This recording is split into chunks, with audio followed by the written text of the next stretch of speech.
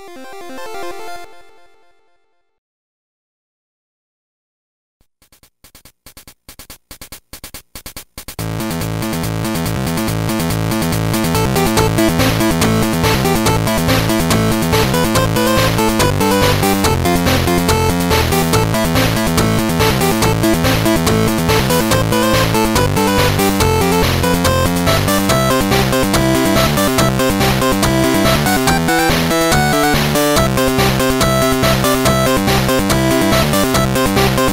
Cari amici ascoltatori di Outcast, benvenuti a un nuovo episodio di Outcast Popcorn a microonde, il podcast dedicato alle serie TV.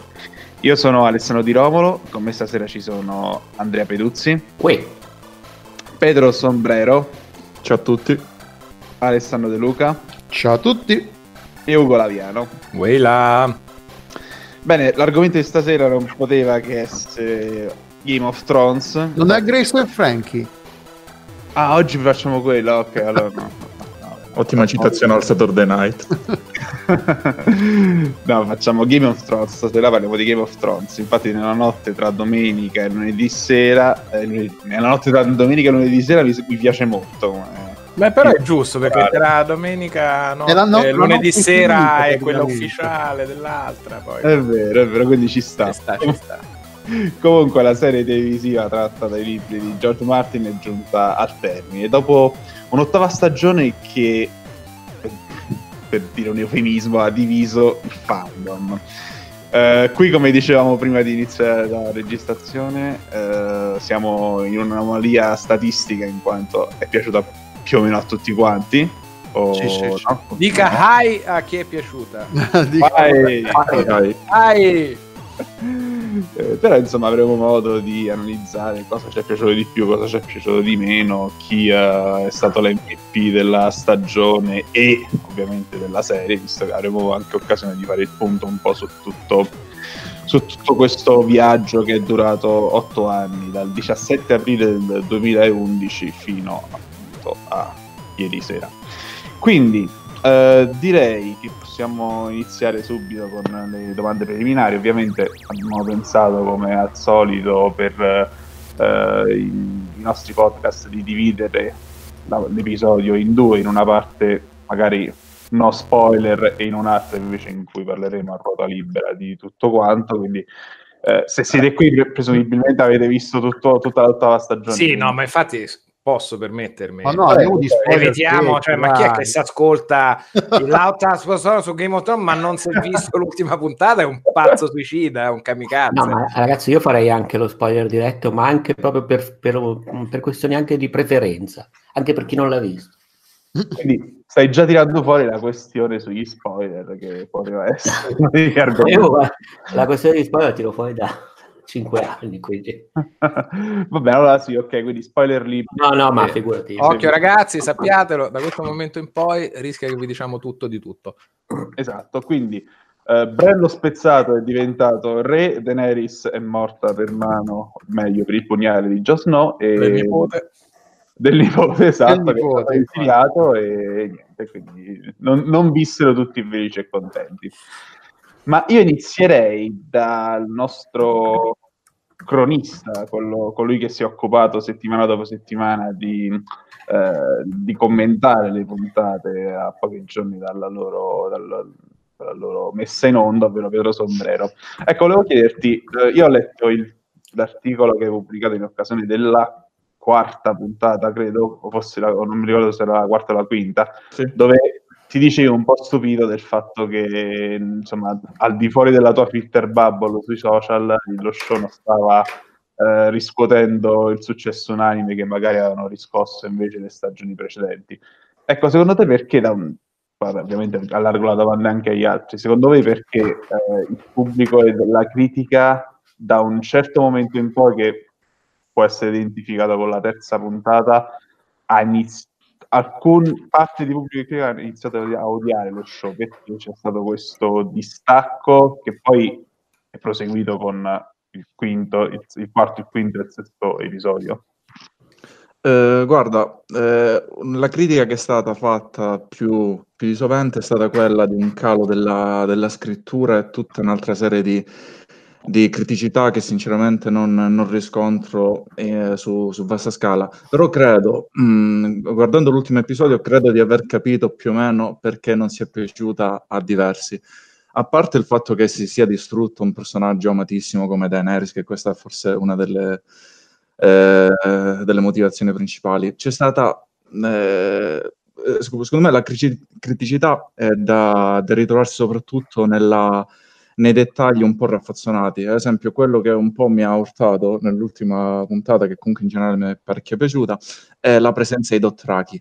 Minchia, ma sti, sti Dothraki non erano tutti, tutti morti. Questa più un'altra serie di, di, dettagli buttati un po' lì in modo un po' raffazzonato, secondo me hanno contribuito a far arrabbiare un fandom che eh, nonostante sia molto vasto, etichetto abbastanza come nerd, cioè quindi attenti a tutta questa serie di dettagli che magari al pubblico un po' più vasto lascia, lascia andare in secondo piano, mentre invece al, al fan che segue sa tutti i dettagli prima, dal primo episodio fino all'ultimo, probabilmente anche letto i libri, questo è un dettaglio che eh, gli può dar fastidio, specie se poi va a cozzare con qualcosa di un po' più grosso, tipo Daenerys che apparentemente sbrocca da un momento all'altro. Mm. Ecco, questo è stato uno degli argomenti più, più, discussi. Secondo voi più o meno è stato così? È stata una roba repentina? O effettivamente c'erano dei segnali per capire che Daenerys non è che fosse proprio la, la, la liberatrice di popoli come si spacciava e non, fosse poi così pura o, e, insomma, tra... una Targaryen di razza. Mm. Tra le tante lamentele, cose del genere che possono essere emerse dalle strategie belliche o gestione di alcuni personaggi. Questa è quella che in parte mi ha sorpreso di più come reazione, proprio perché in realtà da una parte ha in quel momento tante motivazioni, secondo me, il personaggio per uno sbrocco eventuale, per cui gli hanno ammazzato l'amica viene rifiutata da quello che era diventato il secondo uh, amore grande della sua vita, a parte Dario, Caldrogo e cose, grande amore che la rifiuta perché in più soprattutto per la prima volta viene messa in discussione quella che lei ha sempre vissuto come una predestinazione, cioè io devo conquistare il trono di spade perché sono la, regi- la legittima erede a quel trono, ci hanno cacciato noi Targaryen, ci hanno massacrato, ci hanno tradito, io sono quella che ha diritto di starci sopra. E lei là si ritrova per la prima volta in quel conflitto che ha saputo alla fine della puntata precedente o quando era che invece in realtà quel diritto aspetterebbe a, il, a John Aegon Targaryen. Quello viene messo in discussione, l'amica viene decapitata, l'amore gli viene negato, il suo consiglio la tradisce, si sente minacciata, le hanno ucciso il drago, uno dei suoi figli, ha sacrificato buona parte delle sue forze militari per venire incontro al nord alle esigenze di scacciare i morti e viene messa a fare tappezzeria alla festa. Ma insomma, anche... se c'è un personaggio che ha tanti avere tante motivazioni o tanti trigger per uh, buttare a merda, viene sbugiardata da Cersei che la percula dicendo sì sì poi arriviamo, invece no. In più si aggiunge il fatto che lei sì, è sempre stata una che professava la, la, grande ruota, la rottura della ruota, le cose, ma quello che ha sempre fatto è con determinazione ottenere quello che voleva, bruciando chi le si poneva davanti. Che prima fossero più cattivi e non fosse la popolazione di King's Landing, poi non importa, cioè ha crocifisso bambini, robe, ne ha fatte più di Carlo in Francia. si Beh, decide che Tyrion alla fine, nella, quando parla con uh, nell'ultima puntata, quando parla con John appunto riguardo come sia punti di vista, nel senso, ah, quando ha ammazzato gli, gli, gli schiavi, i padroni schiavisti a, a Merin, erano, non abbiamo detto niente perché erano cattivi, quando ha ammazzato i, tutti i cal del nuovo, dei, dei nu- del nuovo Calatraki, come si dice. Sì, sì, sì, Anche lì non, non abbiamo d- detto nulla perché le, le, avrebbero fatto di peggio a lei e tutte queste... Però alla fine sì, il, il seme... No, della pazzia no, perché comunque eh, della, della crudeltà... Mania di onnipotenza e crudeltà. cattiveria ce l'ha sempre avuto, eh, solo che appunto quando massacra una città intera, gente innocente tra virgolette, tra più o meno virgolette, quanto le vogliamo mettere in, in uh, grassetto no, ti viene appunto, di, di, di, ma, cioè non ha fatto nulla di diverso alla fine. Eh, sì, che sono d'accordo. Nel, nell'episodio proprio tu citavi la, la, parte in cui parla con John, lì ho capito che non era tanto uno sbrocco, ma era quanto una lucida follia, perché lei spiega con calma, una volta che diciamo, ha risolto tutto il suo problema, che quello era qualcosa di quasi programmato. Lei sostanzialmente se ne è sbattuta di quello che gli ha detto Tyrion per il suono delle campane, eh, ha ricordato piuttosto quello che gli aveva detto eh, la, la TRL, la nonna TRL, cioè di, di sì. fregarsene sostanzialmente dei eh, dei consiglieri di fare testa propria, perché lì in quel caso la sovrana Cersei aveva utilizzato il popolo come propria arma e quindi lei sostanzialmente ha tolto un'arma al proprio nemico. Cioè lì è stata molto lucida, lì non ci ho trovato tanta pazzia quanto una megalomania, diciamo, un, eh, un'ubriachezza di potere, non saprei. Non so, io, eh, a me sembra che, non, non, mi sembra, lo so benissimo perché ho rivisto la puntata di ieri sera, c'è anche questo fatto che lei eh, non, non, so quanto riesca ad elaborare la complessità di Westeros. Per otto stagioni tutti quelli che erano attorno a lei eh, cercavano di farle capire che le cose sarebbero andate diversamente nel Westeros, nel senso che mh, ai, alla, al popolo, alla gente non frega niente dei giochi di nobili, in più c'è un cattivo ricordo di quello che era eh, l'ultimo re Targaryen. Lei viene da un mondo in cui tutte le cose sono molto più semplici, ci sono due tipi di persone, servi e padroni, schiavi e padroni, e i, i, primi desiderano essere liberati e ameranno di conseguenza chiunque gli fornirà quella libertà. Eh, arrivata in Westeros, in cui la situazione è molto più complicata, in cui chiunque viene da fuori viene visto come un invasore, è anche la ragione per cui, ad esempio, non aveva vinto Stannis, nonostante avesse delle eh, pretese sul trono che erano comunque credibili. Eh, vede comunque il popolo, eh, diciamo, accatastarsi verso Cersei in quanto regina che deve proteggerli. Secondo me ci, ci sta che lei, insomma, dal suo punto di vista, i, i, il, il, popolo, i cittadini di Approdo del Re avrebbero dovuto arrendersi, avrebbero dovuto non arrendersi, scusate, ribellarsi a Cersei, ma di fatto non c'è niente di cui ribellarsi. È questo che secondo me ne, lei non capisce tanto bene. Si vede come liberatrice, e di conseguenza pretende che tutti quanti la vedano come tale, anche chi di fatto non, non, non necessita di essere liberato, non ha nessuna fretta da questo punto di vista. Ma poi l'ultimo episodio ha, mi ha rivelato, cioè mi ha ricordato anche quanto sia, sia pretestuoso tutto questo discorso del, del, dell'avere diritto al trono, quando è assolutamente una cosa decisa a tavolino da chi ce l'ha quel diritto, che, che, che, se lo arroga, non è una cosa che appunto, come voleva far eh, credere chi era Luigi XVI in Francia, che il, il diritto del, alla monarchia era un diritto divino e tutte queste bellinate qua. Eh, non divino, però di nascita viene molto considerato, cioè proprio quell'approccio no, appunto, da però, storia medievale Game of Thrones. No, ma appunto è una cosa assolutamente pretestuosa, nel senso che perché uno che è nato solo perché è nato in una famiglia che ha, che ha, già il potere, mantiene il potere. È proprio questa pretestuosità. E, e viene... eh, ma questa è una pretestuosità storica, ma che no, no, ma infatti, là è realtà. Cioè, non so come spiegarmi, eh, non, non, possiamo vederla con un occhio moderno, anzi la cosa più moderna che avviene è proprio che poi decidono di eleggere il re per voto eh, delle entrate.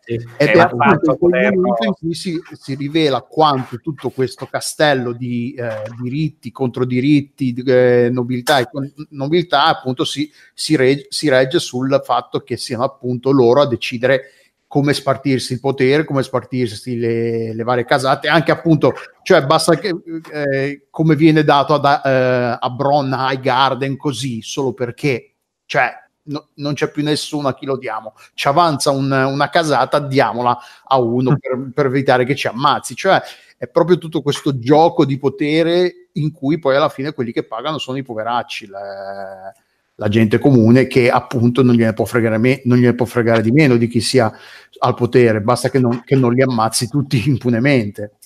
Beh, lì il punto di vista più interessante, quasi moderno, in realtà al di là di, come si dice, di Sam, che è quasi anacronistico, perché lui ovviamente è un, uno studioso, è un po' più avanti, però ovviamente è scolato dalla realtà, mi ha fatto anche molto ridere il sorrisetto di Sansa, come per dire sì, vabbè, ok. Stai, stai buono, eh? Sì, sì, no, la democrazia no. neanche abbiamo avuto l'antica Grecia qua, ma di che cazzo esatto. parlando?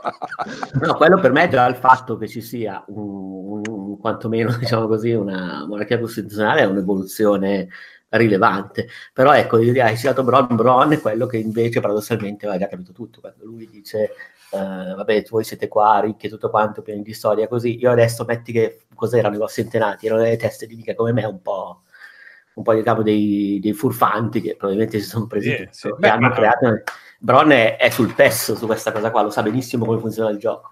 E poi è un'appropriazione molte volte che avviene con prove di forza, ma lo stesso scambio che c'è stato, diciamo, nel prequelizzato con uh, Aegon, cioè il re è matto, lo ammazziamo e prendiamo noi e i Baratheon vanno al potere senza in realtà nessun diritto, diciamo, di nascita, è con prova di forza e guerra. Tra l'altro, basandosi su una, una menzogna di fatto, perché sì, sì, il, sì. il, ratto di, uh, di, Anna Stark in realtà era sì, una sì, sì, d'amore del tutto innocua, ecco, quindi non, c'è, c'è, anche la menzogna alla base di questa ribellione contro esatto. Il folle, quindi insomma. Eh, ecco, Pedro, tu che hai parlato un po' di meno, eh, hai avuto un po' la sensazione che fosse cioè, tutto un po' troppo compresso, come anche nella settima stagione, che a un certo punto in poi Benioff e Weiss abbiano accelerato forse un po' troppo nella nuova. Eh, io devo ammettere che sì, ed è forse diciamo l'unica grossa critica che mi sento di fare a questa stagione, nel senso che si è accelerato un po' di più anche rispetto a quelli che erano uh, gli standard della serie, perché poi in realtà ci sono stati altri momenti, adesso non ricordo, non li metto a fuoco uno per uno, però mi hanno una sensazione che ho avuto anche in altri momenti della stagione e a cui probabilmente ho dato meno peso o ho sentito meno il peso, diciamo, dei social perché non era l'ultima. Quindi, chiaramente, diciamo, il fatto che fossimo agli sgoccioli ha un po' uh, fatto drizzare le orecchie a tutti, forse anche più del necessario.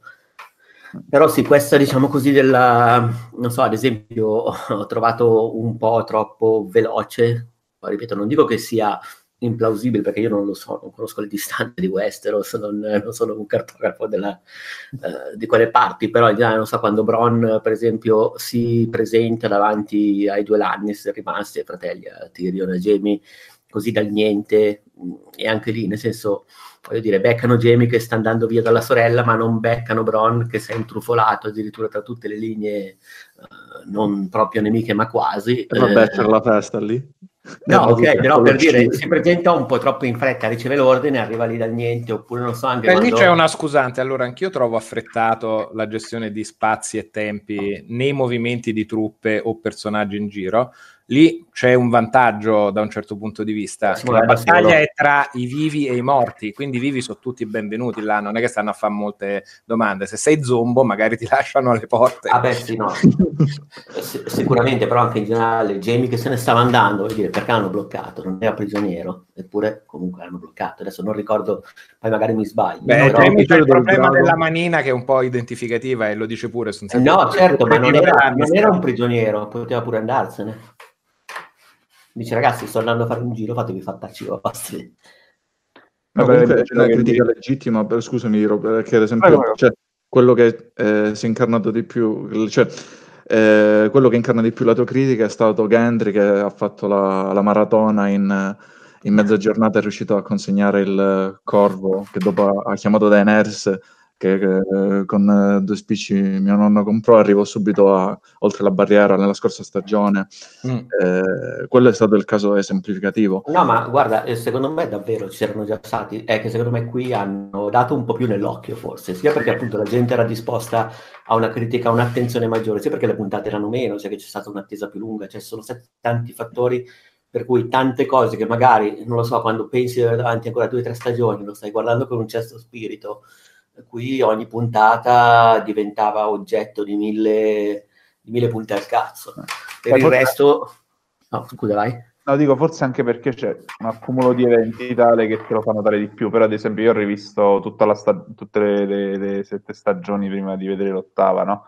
E già nella prima stagione, al secondo episodio, eh, Ned e Robert si fanno tutta la strada del re, cioè da, sì, sì. da, da Grande Inverno a Proto del Re, nello spazio di una puntata. Sì, Poi, ovviamente, spostandosi ad Proto del Re, tutto succede in quella città e di conseguenza... No, no, assolutamente, poi ci sono molti fattori, adesso sempre volendo fare la punta in cazzo io stesso, perché poi in realtà adesso magari se tu sai di essere, di poterti muovere liberamente su una strada libera con la scorta vai a una certa velocità, devi andare desfrodo tra i boschi ne pigli un'altra eh, ci sono mille variabili su una zona che, in realtà io non conosco. Quindi non... Ma io mi sono letto abbastanza i libri e la geografia di Webster la conosco e questa è una cosa che a me saltava all'occhio sempre e loro l'hanno usata come scelta, diciamo, formale di fottersene di queste robe, ma da sempre.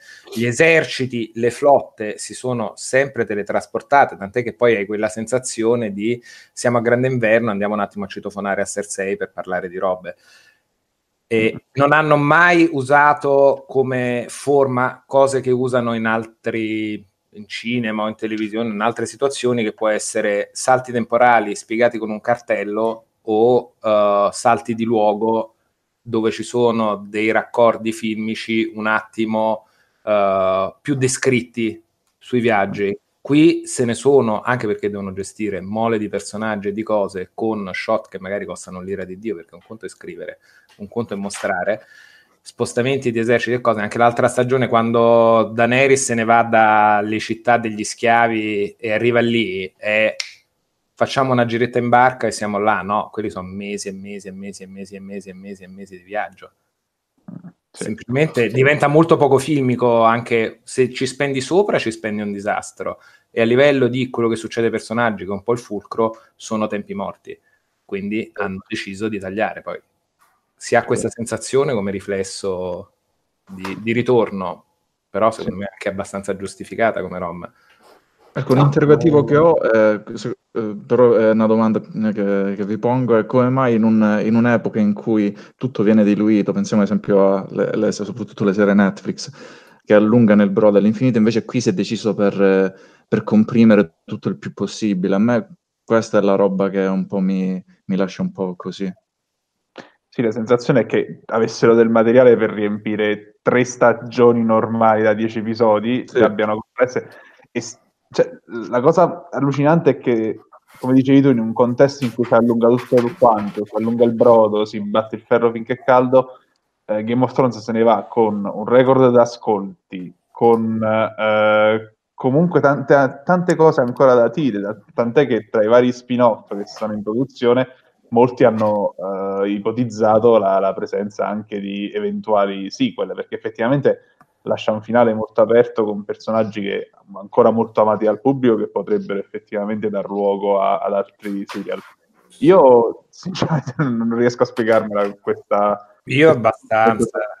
Boh, il discorso che li abbiano assunti per scrivere Star Wars. Ma non è solo quello. No, no, quello me, però era una roba che era in base. Ma sono contratti di troupe, attori e robe di otto anni. Cioè, tu devi riuscire a mantenere un cast per così tanto tempo. È difficilissimo quando hai così tanti personaggi. Cioè, non devi fare, no, un, sì, contratto, sì. devi fare un contratto a 35 personaggi a un certo punto ti inizi a trovare di fronte alla difficoltà di no, questo qua fino al, al 2020 ha detto che si è rotto il cazzo, il contratto, magari hanno fatto i contratti tre anni fa, pensavano uh, di riuscire a competere, ti ritrovi a scrivere e dici magari avremmo avuto bisogno di più tempo, ma i giochi sono fatti tra produzioni da pianificare, contratti da rispettare, non sono solo loro due che magari si sono rotti.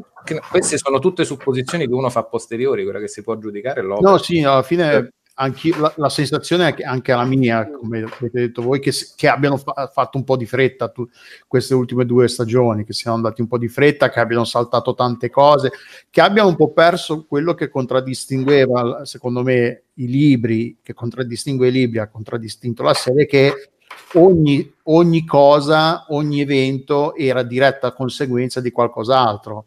Come, uh-huh. vabbè, nella primissima serie, la morte di Ned Stark è conseguenza della sua incapacità di leggere il, la situazione, di, di, di, giocare al gioco dei troni, di, essere, di, non conoscere le regole fino in fondo e ne paga il prezzo.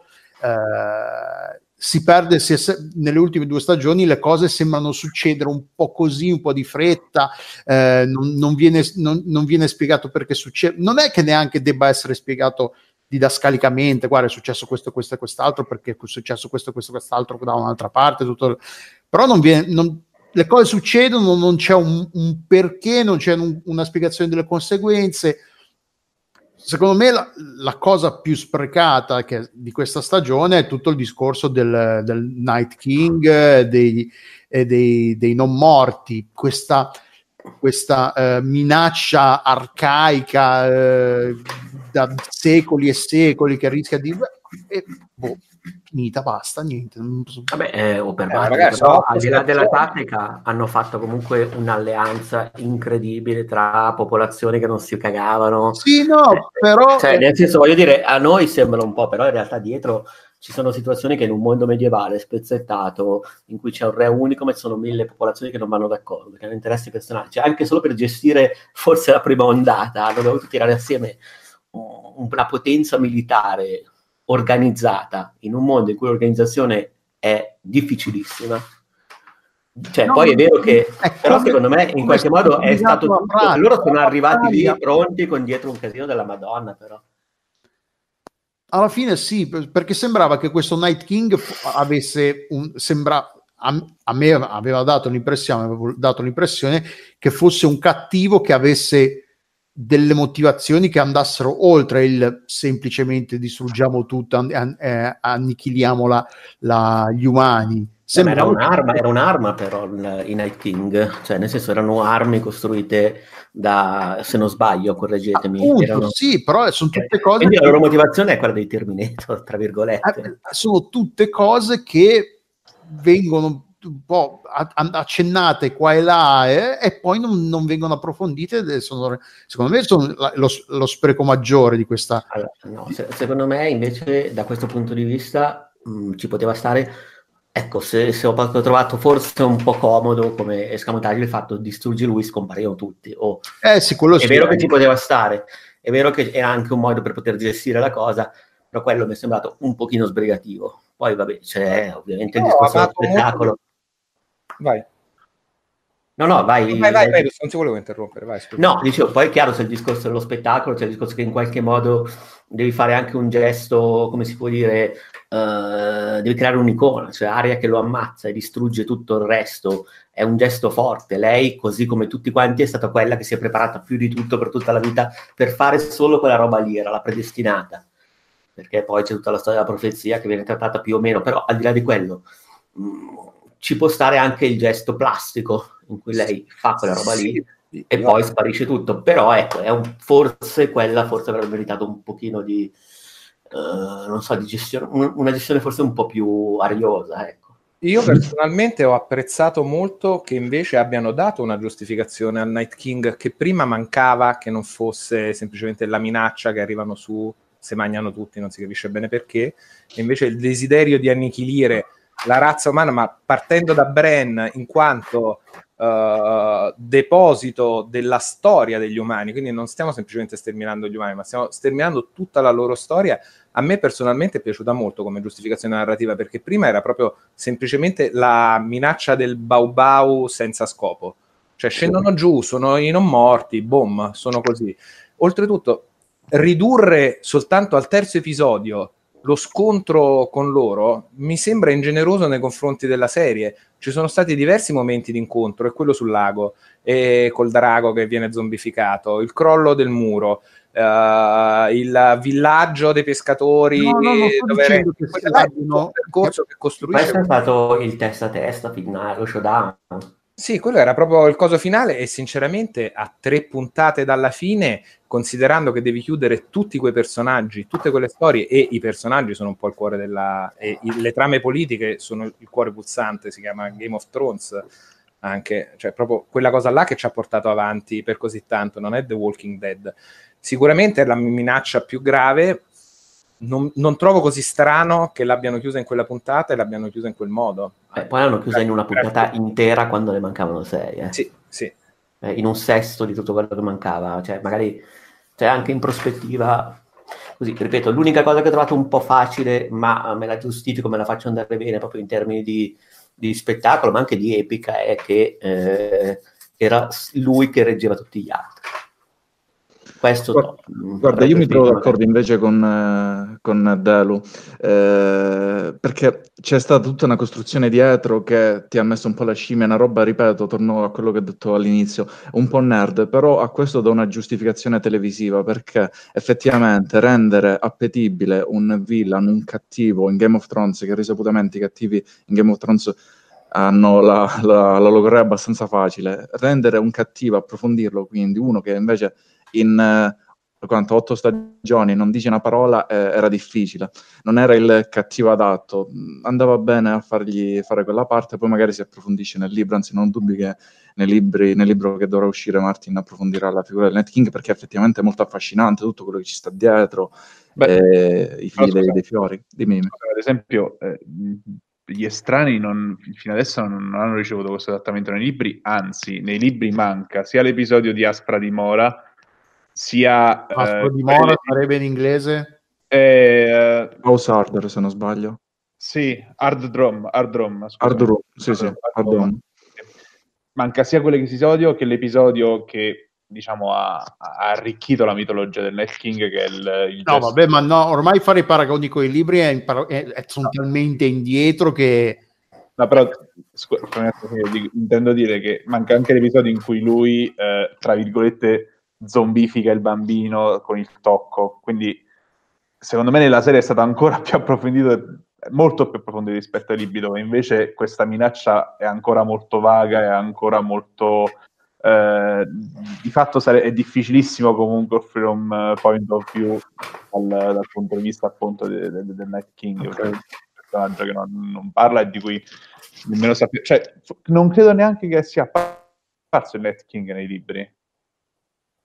No, nei libri non, non, esiste. non esiste nei libri ancora, no questa vaga minaccia dei, uh, degli estranei ai, ai quali uh, Benioff e West hanno dato questa sostanza e un po' io sono d'accordo insomma con, con Ugo, c'è tutta questa cosa che eh, anche ad esempio la, la profezia di Azor Ahai è comunque arricchimento di quella mitologia lì e dà anche sostanza comunque alla, alla, al personaggio del Night King che ok sì c'è questo desiderio di distruggere la storia dei uomini che ha sicuramente una potenza eh, evocativa ed è un, anche un simbolo molto forte ma anche da un punto di vista pratico, il Night King è già sceso in Westeros, ha già perso contro questo Azor Ahai, come narrano le leggende, ed è stato respinto ed è stata costruita la barriera per tenerli lontani. Eh, distruggere la storia significa anche distruggere la coscienza di, cioè, la, la, come dire, la, eh, la memoria di questo evento. Anche la conoscenza, la conoscenza di come il Night King può essere sconfitto lui di fatto non sa che loro sanno tutto quello che loro sanno di, di, di, sugli strani e su come si possono battere, sul fatto che se si sconfigge lui si sconfiggono tutti quanti. Quindi non lo so. Io ci ho visto molta più sostanza di quanto in realtà possa, possa sembrare. E poi se, secondo me veramente funziona molto bene, eh, tu dici non parla tutto, però eh, ha un, una gestualità e un certo tipo di cerimoniosità in alcune scene, ma anche per esempio quando risorge tutti Mm-mm. hanno davvero un'aura di... che va oltre la sua caratterizzazione spiccia. Quindi, so, secondo me andava bene. In, invece io volevo tornare un secondo al, al discorso del perché potrebbero aver abbandonato tutto quando è sulla cresta dell'onda così. Allora, al di là delle questioni pratiche che, che diciamo eh, portava Ugo... Una striscia che hai fatto. Come? è sentita una, una annusata molto sospetta. Ah, no, non, non, non mi sono accorto di, di, aver dimenticato qui le droghe. Ah. Eh, no, eh, volevo dire, secondo me al di là delle questioni pratiche potrebbe anche esserci la contingenza che si diceva delle serie di Netflix, così che un tipo di narrazione seriale gestita in questo modo è anche tra virgolette quasi al tramonto, cioè una, una serialità affidata a network che la mandano in onda settimanalmente, che la sostengono, cioè è comunque anche un tipo di narrazione che effettivamente si confronta con eh, una modalità di distribuzione di fruizione che è molto diversa, quindi magari c'era anche quella questione lì. Cioè dici, vabbè... Eh, Ma che secondo me se ne sono andati finché la festa era ancora, era ancora, era ancora bella, ecco.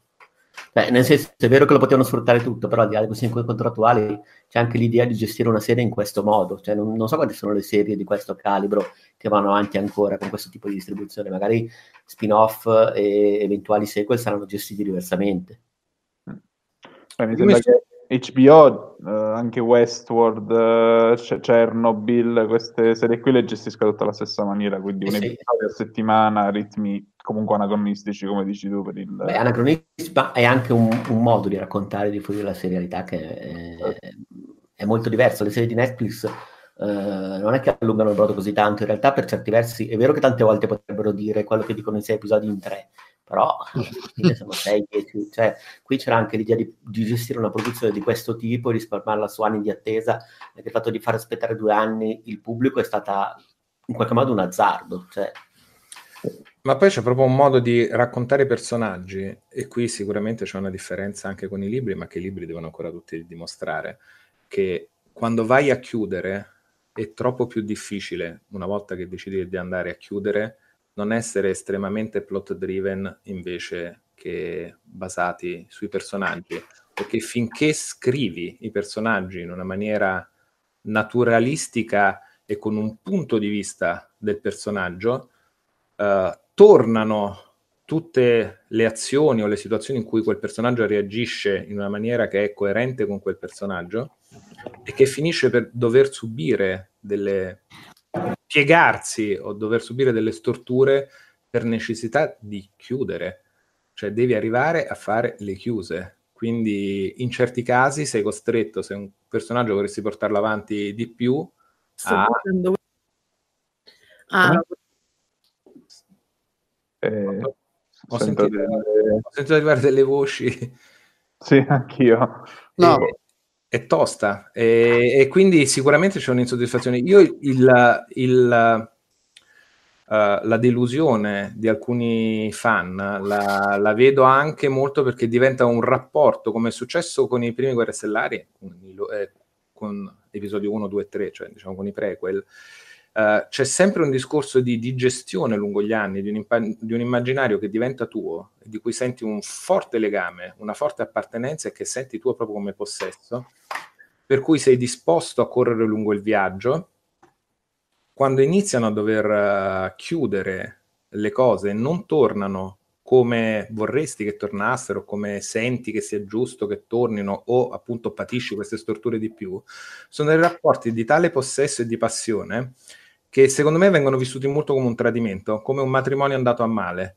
Uh, c'è un rapporto di tale passione e di amore che quando uh, qualcosa non ti torna è come una promessa matrimoniale che è stata disillusa, spezzata, un tradimento. Quindi tua moglie diventa, uh, se prima era la luce dei tuoi occhi, diventa l'inferno, perché quella promessa e quel rapporto che hai coltivato per otto anni, quella fiducia la, la, la senti tradita. Queste ecco. due cose, secondo me, hanno no, creato un po' questo tipo di sentire. Questa è l'idea che mi sono fatto io. Sì. Eh, Ma poi mi... anche il fatto che però secondo me, eh, non so come dire, anche il fatto che la serie è partita con un certo numero di ascoltatori e quindi una certa fan base, poi è cresciuta, è diventato fenomeno, ha tirato dentro molta più gente, eh, pur rimanendo però per diversi una serie eh, molto meno, mh, come si dice, popolare, contestualmente parlando ad esempio di Lost che aveva molte linee narrative anche molto diverse tra loro, per cui poteva parlare in nerd con un certo tipo di mitologia e contemporaneamente tenere lì eh, un altro pubblico che magari si interessava al triangolo amoroso. Qui secondo me era un po' più rigorosa per certi versi, cioè un po' meno... Uh, come si può dire, accettava un pochino meno di compromessi, anche perché è un periodo diverso, le distribuzioni diverse, quello che è. No, secondo me da un certo punto in avanti mh, ad esempio, non so, prendete il personaggio di Daenerys che è snaturato, qui, o secondo me è stato in realtà forse veloce perché la sensazione può essere stata quella per 3-6 episodi, la fine dopo due anni d'attesa, però è un'evoluzione coerente del personaggio e tra l'altro non così scontata come leggo in giro. Mm, voglio dire, non è che lei è diventata matta o altro, lei appunto ha vissuto un percorso che a un certo punto l'ha portata nella convinzione di essere nel giusto eh, non è che lei è diventata cattiva, cioè lei è sempre quella che era e ha irrigidito determinate posizioni e ha magari perso un certo tipo di supporto da alcuni personaggi, nel senso che ci sono stati fior di momenti nella serie in cui erano magari i suoi consiglieri che le dicevano no aspetta, non esagerare qua, tieniti un attimo, lei adesso è... Sì, ci siamo dimenticati di citare povero Ser Zerbino. Tra tutti i morti sì, e le perdite che ha avuto esatto. Ser Zerbino, ce lo siamo... Gio- Sergio povero, povero Zerba, povero. Sì, sì, sì, è vero. E questo per dire che, insomma, ecco, secondo me il punto è che essendosi ingigantita così tanto la fanbase, è diventata molto più popolare, molto più, non so, la gente davvero si aspettava a un certo punto, forse, non so, il, il matrimonio, le cronache del ghiaccio del fuoco, Legio Snow, ghiaccio fuoco, eh, però in realtà secondo me la serie non è mai stata così. Ecco, però proprio ricollegandomi a questo fatto, de, del fatto che dopo tu do, coltivando un rapporto con una serie tv, con un prodotto audiovisivo per anni, a un certo punto ti illudi di possederlo, di, non è più un senso di appartenenza, ma è proprio un senso di possessione. Cioè, come dici te, a un certo punto ti dimentichi anche però delle ragioni che ti avevano fatto innamorare di, di quella cosa lì. Perché se la gente che desiderava, il, come dici tu, il matrimonio tra Daenerys e John, il, il lieto fine, il, la, la, Daenerys sul trono. Eh, ma è la gente che si è goduta le nozze rosse, cioè nel senso che vista, o, che si è vista, o che si è vista tutti gli stupri in quella casa, diciamo, in quel, in quel regno dove degli incesti, dove poi a un certo punto anche i, i guardiani della notte sbroccano quelli rimasti e mettono sul Signore delle Mosche, cioè ragazzi, nel senso, sì. non è mai stata una serie conciliante da quel punto di vista. No, e fermo restando nel non voler fare cinici per forza, a prescindere comunque Daenerys non è non esce come un personaggio negativo. No, no, no testualmente parlando. Io l'ho vissuto un po' la svolta, cioè l'ho percepito un po' una volta, non è sempre coerente a se stessa e secondo me c'è il passaggio, c'è un, un turn to the dark side uh, pronunciato, perché lei sembrava molto più crederci uh, con delle belle parole in precedenza, poi i suoi istinti peggiori erano sicuramente mitigati dai suoi consiglieri, non ci sono più consiglieri, gli stenti peggiori prendono il sopravvento, ma anche la visione, è, cioè il discorso che fa sulle scale a quelli è, è, ben lontano da quelli che faceva prima, o quantomeno ha un'ombra di, di creepiness e terrore estremamente più forte, vuoi per storico della famiglia, vuoi per quello che è, ma lei non mi sembra lo stesso personaggio che era due stagioni fa. Tra l'altro a me ha ricordato sia a livello di, di quello che dice, ma anche dalla, dal, eh, dalla costruzione dell'immagine, i colori, ha un po' ricordato il nuovo ordine di Star Wars come impostazione, come lo dice, quello, i suoi obiettivi. Alla fine, cioè, quello poi del, del discorso dei buoni e cattivi è, è un... È un po' il caposaldo della serie dei, dei, libri, che i cattivi non sono mai cattivi cattivi, a parte il Night King che è cattivo perché è un cattivo atavico. Costruito, costruito, per fare quella cosa lì. Ecco, gli altri fanno i propri interessi, c'è chi lo fa più, con, più, con, più, crudeltà, con più cattiveria, con, più, eh, con meno scrupoli, però alla fine sono tutti, è tutta gente che tira a, a, a, portare acqua al proprio mulino. I Tywin, Lanni, i Lannister sì, sono sempre stati cattivi della serie, se vogliamo gli Stark più buoni, ma gli Stark alla fine sono stati più coglioni e i, e i Lannister i più, i più... Vabbè, aspetta, però gli Stark no, coglioni per così si sono presi, si sono presi tutte Western, gli Stark. No, ma, aspetta, ma quello che voglio dire è che il, discor- il cattivo, la, il, il concetto di male e bene in Game of Thrones non è mai stato come in Lord of the Rings che ci sono i bravi bravi e i cattivi cattivi. Sì, sì è vero, è vero, è vero. Cioè, mm-hmm. no, è, un, è, è, un contesto, è, un, contesto, politico medievale. Esatto, ma... sono spinte anche di necessità che se portate nel mondo di adesso e analizzate sotto un'etica moderna non avrebbero sarebbero tutti stronzi. Anzi, se posso dirla tutta, una cosa che a me ha divertito molto e piaciuto ed è forse una delle mie scene preferite, l'ultimo concilio con uh, i nuovi protagonisti al tavolo che parlano di bordelli e altro. A guardare quelli là, il livello di personaggi positivi che si salvano alla fine è per quanto mi riguarda, estremamente superiore e molto più buonista di quello che mi aspettavo da una serie del genere, cioè che Tyrion salvi la pelle, Davos salva la pelle, uh, Bron che mi sta simpaticissimo salva la pelle, Aria salva la pelle, Sansa salva la pelle. Uh, Jon Snow sì. a suo modo salva la pelle, cioè veramente un sacco mi di ha salvato che, sì. che, che ah, io a inizio stagione la metà avrei detto che potevano arrivare alla fine. No, ma io Snow lo davo per morto alla battaglia dei bastardi. che speravo. Eh. Io ti dirò, lo davo per morto quando l'hanno ammazzato.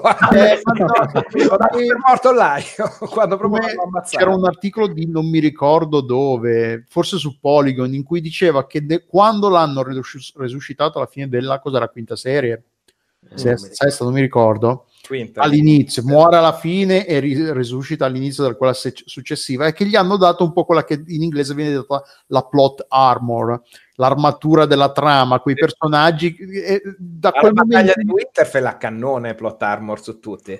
Cosa? Nella battaglia di Winterfell di questa Eh, madonna. Eh, armor a cannone, Brienne, eh, Jamie e Podrick però secondo me lì entra è vero, hanno... che emergono in tre situazioni diverse. Dice, eh, ma ah, lì, lì, hanno ereditato una cosa che secondo me se la usi nel Signore degli Anelli fu, rimane più credibile perché tu in qualche modo loro hanno il carisma e sono eroi, mentre qui da una serie che è partita in cui nessuno è al sicuro forse era diventata... Esatto, esattamente, ma proprio per quello nel Signore degli Anelli te lo aspetti perché comunque sì, sì, loro possono, loro sono eroi, eroi buoni, no? E hanno, hanno, hanno, non so come dire, il, il carisma e la fortuna pompati al massimo, giustamente. Sì, sì, sono super pompati al massimo, qui c'è un minimo di cambio per cui... Eh, ah, ma infatti è quello, hanno un po' contravvenuto alla, alle regole non scritte del, dei, dei libri, della serie, ma anche della serie fino a quel momento, e che chiunque potesse morire. Dal ma momento in cui hanno riuscito... anche il momento Scusa, no, vai, scusa. No, quello che voglio dire è che nel momento in cui hanno risuscitato John, queste regole secondo me non valevano più per tutti pers- i personaggi.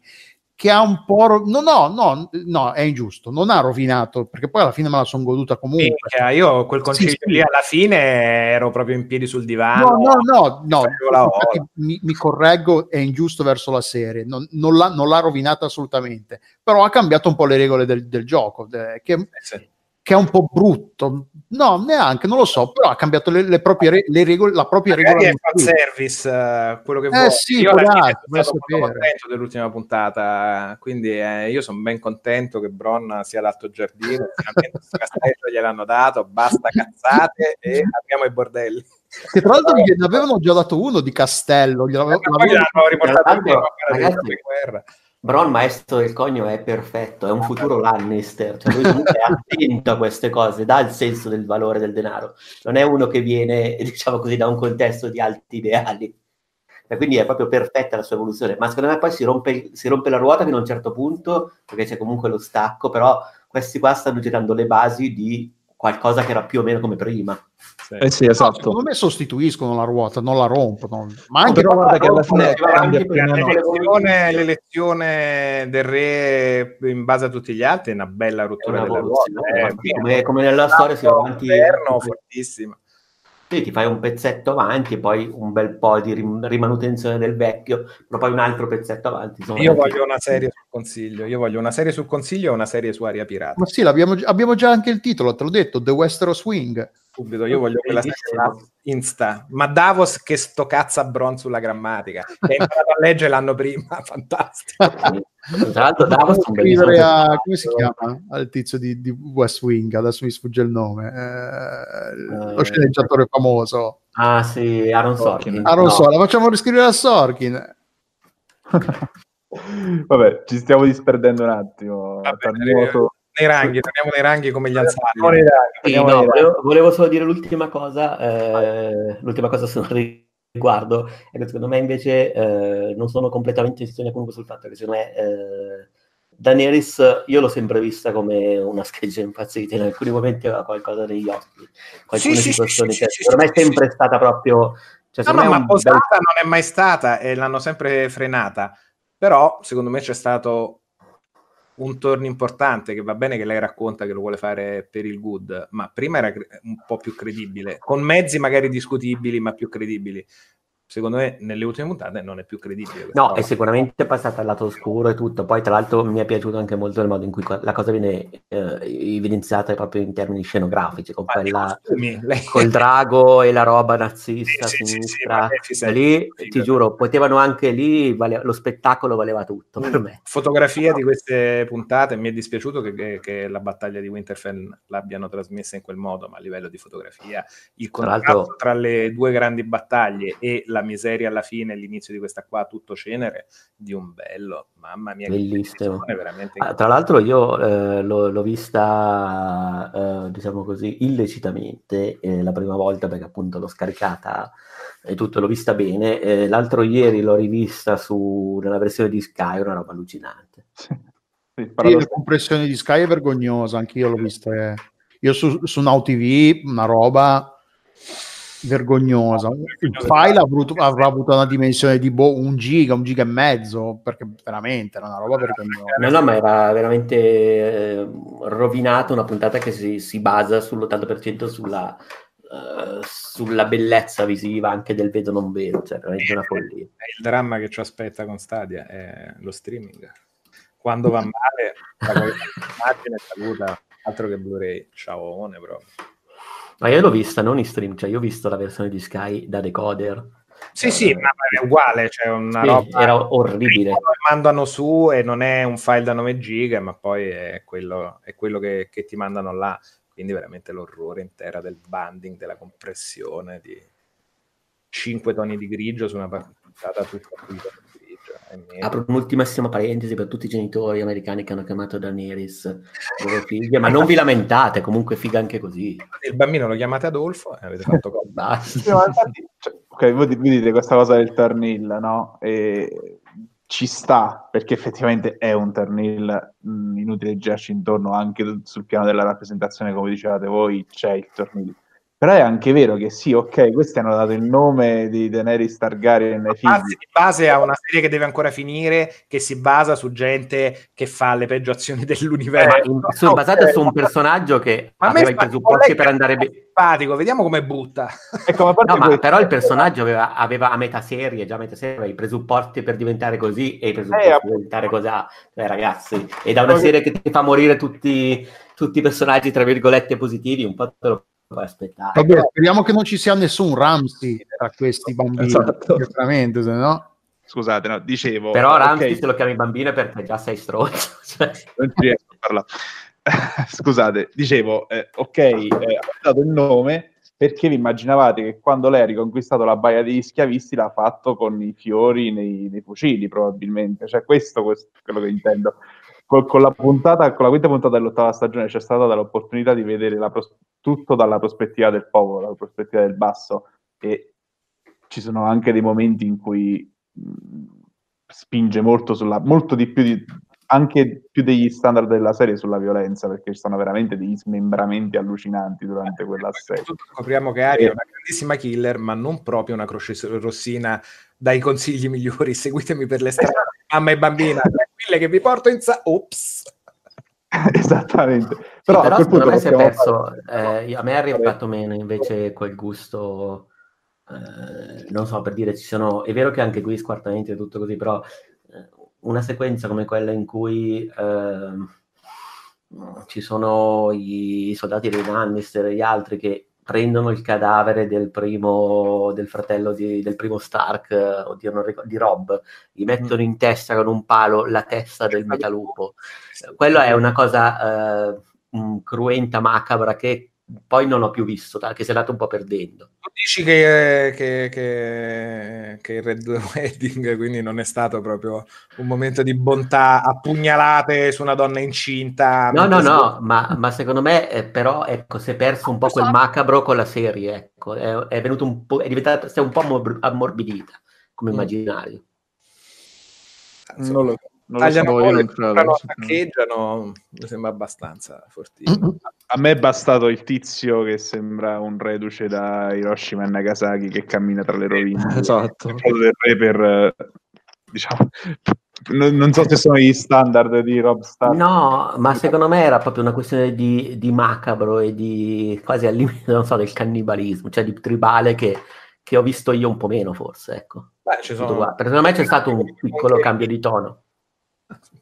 Sì, sì, sì, sì, volendo sì, ma insomma, comunque non la... Non... No, beh, non sto dicendo che sono diventati tutti... che non si vede il sangue come nei Marvel. ok. Vabbè, diciamo che passiamo a un altro argomento. Eh, vi chiedo qual è stato il momento più alto e più basso però all'intero, non di questa stagione, visto che ne abbiamo parlato abbastanza, dico dell'intero show. Siamo da, da, da Ugo, dai, Ugo, dici...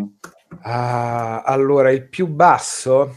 Allora, io ammetto di aver, di aver patito, uh, è una cosa che mi sta molto sul cazzo, lo dico con fastidio, a livello logico la morte del drago in cielo, quella è una cosa che proprio è una roba che non mi è tornata. Cioè, non ho capito perché quel drago non poteva morire nella puntata di Grande Inverno e non ho capito come mai loro con quella posizione di vantaggio dall'alto dei cieli non vedano una flotta ma la flotta riesca a mirare tre volte e tirarlo giù in uno sputo, soprattutto quando, ok, va bene, è molto fragile agli scorpioni, alla puntata dopo neanche fanno fuoco. Capisco che controluce quando fa la prima discesa, ma poi Drogo si, si, si incendia tutta quella flotta andando a destra e a sinistra, quella roba lì ho patito, ma il momento che ho patito di più è l'allettamento tra Brienne e Jamie, che, che proprio non, non vedevo perché avevo trovato talmente bella e romantica l'investitura a cavaliere eh, di Brienne e considerando che Jamie ama e ama e basta solo la sorella, trovavo che la loro storia di amor cortese cavalleresco fosse stata talmente ben chiusa così che non ci fosse alcun bisogno che finissero a, a letto, soprattutto considerando che lui prende il cavallo poi e torna dal, dall'amore vero suo.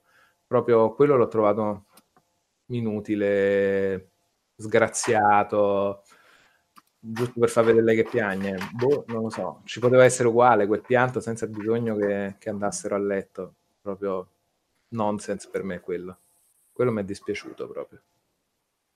Il momento, il momento, più alto, il momento più alto, uh, beh, a me Aria che arriva e Cisi e tira giù il Night King mi è piaciuto proprio ma proprio tanto, cioè sono tutte le stagioni che preparano lei per essere la mega assassina, lei che rifà la mossetta uh, che aveva fatto nell'incontro con Brienne e lo spanza ed esplode tutto, Segotti Bimani.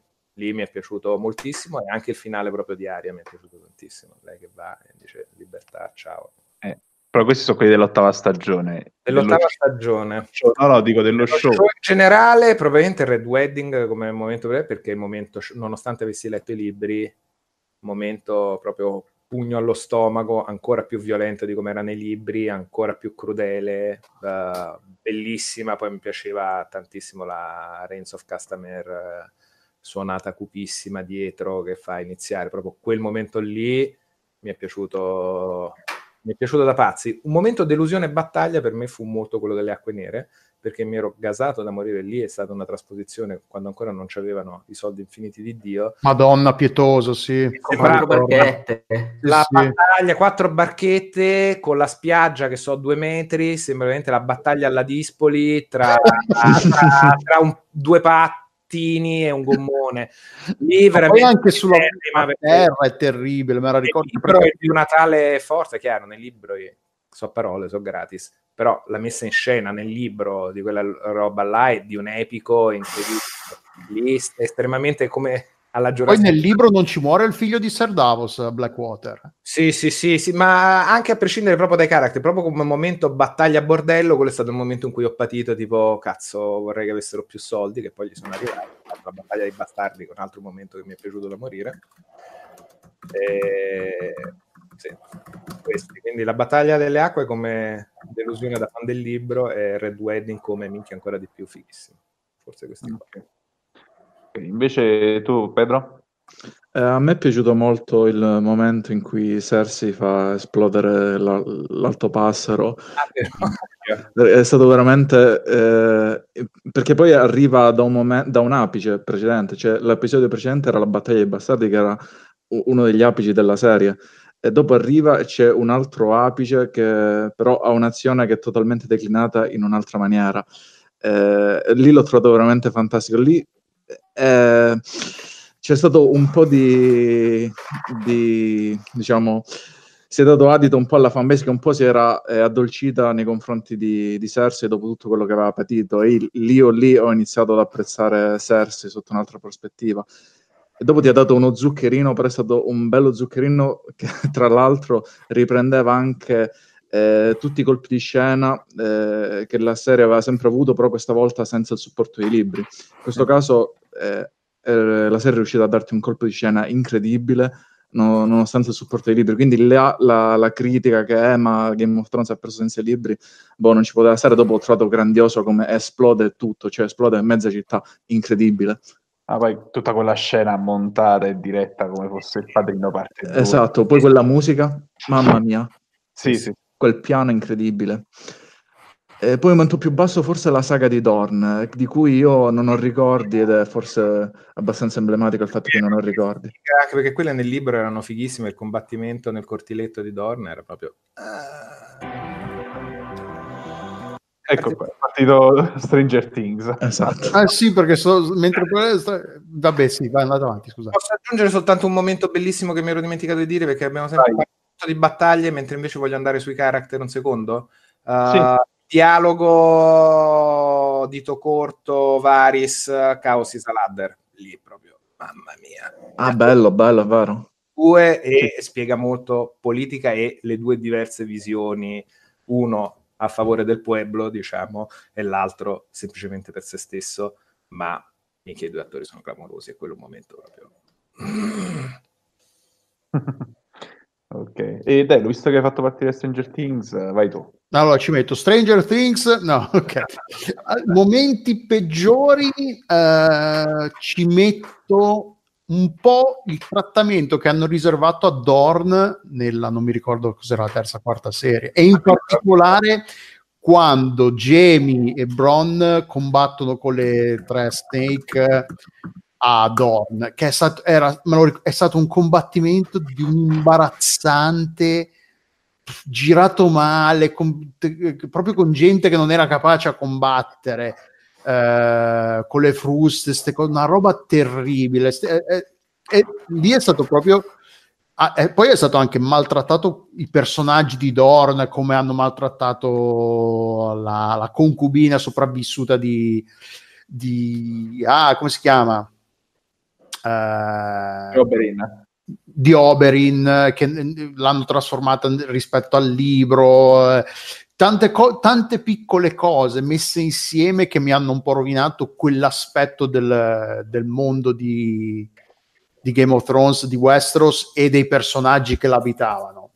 Momenti migliori uh, ci metto Red Wedding, co- ci metto sia il Red Wedding che la morte di Ned Stark, che erano entrambi momenti che avevo già letto nel libro e che nonostante sapessi già perfettamente cosa sarebbe accaduto da lì a pochi secondi, sono stati me li ricordo di un'intensità terribile. La scena di Ned Stark con aria, aria tra il pubblico, con lo zio che, che la, la, porta via di nascosto, non guardare, non girarti, vieni via. Eh, cioè, e, e Red Wedding, idem in Red Wedding, combinazione sono entrambi momenti tragici che hanno come protagonisti gli Stark eh, hanno avuto, sono stati girati benissimo e, e proprio per, non, eh, la particolarità è appunto sapevo già cosa succedeva quindi non avevo l'impatto della sorpresa però per come sono stati girati per come sono stati eh, giocati eh, gestiti i tempi della narrazione del, di quello che veniva mostrato sono momenti tragici ma bellissimi a livello visivo, narrativo, gran, momenti di grandi televisioni per usare una, una, un'espressione un po' abusata, però sì, proprio belli, tragici ma belli. Vai Peduz. Allora, uh tra l'altro, eh, una premessa, io stavo, non mi ricordavo tutti i momenti brutti di tutte le stagioni, quindi ho semplicemente digitato Game of Thrones momento peggiore su Google e ho letto la settima stagione, eh, pagina, la settima stagione è stata senza dubbio la peggiore, questi sono titoli di articoli.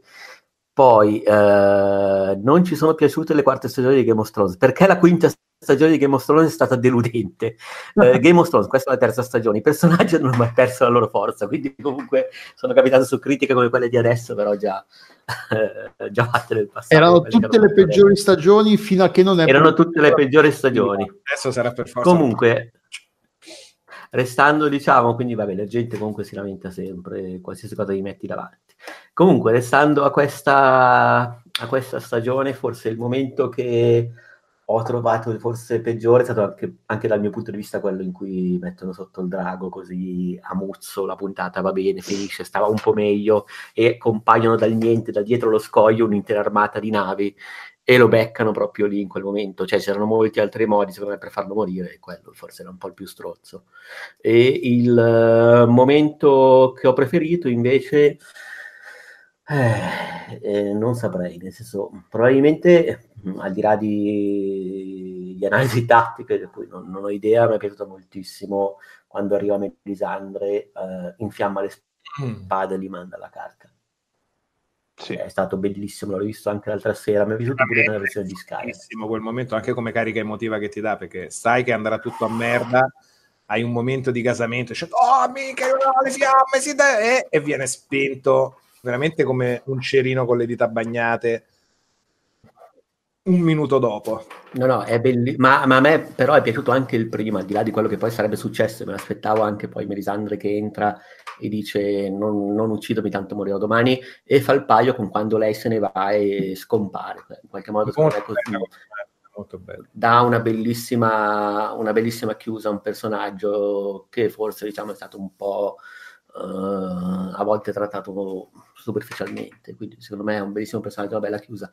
Uh, ammetto che però mi è piaciuto moltissimo anche forse a pari merito il momento, uh, il momento nazismo, cioè quello in cui effettivamente c'è quella scena lì in cui arrivi lì a Prodo del Re c'è neve, polvere, quant'altro, c'è lo stendardo, il drago sulla destra, sarà stata una costruzione banale, sarà stata una costruzione stravista, scontata, però secondo me funzionava benissimo. Eh boh, ma sai, alla fine i classici sono classici per motivo, quella costruzione sì. visiva si rifà a tanti... No, ma, ma, ma, poi quella, come equilibrio degli elementi, come anche eh, dimensioni, il sì, sì. il drago messo lì così...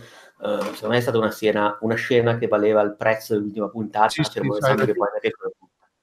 oh. E riguardo alla serie non, non, riesco a identificare francamente il momento peggiore forse c'è stato un momento in cui, oddio, non, neanche la saga di Dorn mi è dispiaciuta, non, veramente non riesco a mettere a fuoco un momento davvero deludente. C'è stato forse un periodo prima eh, del, dell'ammazzamento, ecco, forse la parte del, dell'alto passero, quando in un attimo arriva questo qua e tutti diventano fanatici religiosi Uh, non so, è stata la parte che in generale dello show me, mi ha tirato dentro. Anche nel libro però succede un po' così, eh, che diventa no, potente piuttosto in fretta. Quella parte nei libri c'è già. Eh... No, beh, ma ci mancherebbe, nel senso, voglio dire, in, in, uh, in Medio Oriente sono successe cose del genere. No, sì, no, no, è una cosa... Però in generale non mi è piaciuta in sé, nel senso forse non, non, non mi ha coinvolto come momento, non, non è stata la cosa che mi è piaciuta. Il momento migliore della serie, eh, quello che mi... Ah, ne ho anche in questo caso due a pari merito. Il primo è nella prima stagione quando Aria, quando Sirio Folel in qualche modo combatte e tiene testa a tutti con la spada di legno. Mm-hmm.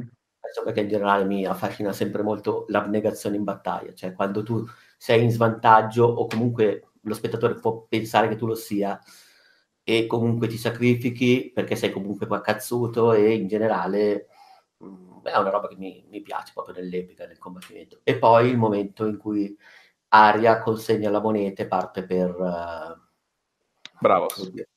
Per Bravos. Sì, cioè quel momento lì che chiude, se non sbaglio, la quarta o la quinta stagione, non ricordo, in cui lei praticamente parte con le note della sigla uh, pompate, va proprio col vento in poppa, così quello secondo me è stato proprio un momento bellissimo, anche se non è legato a nessun massacro o altro, è proprio una chiusa epica fantastica.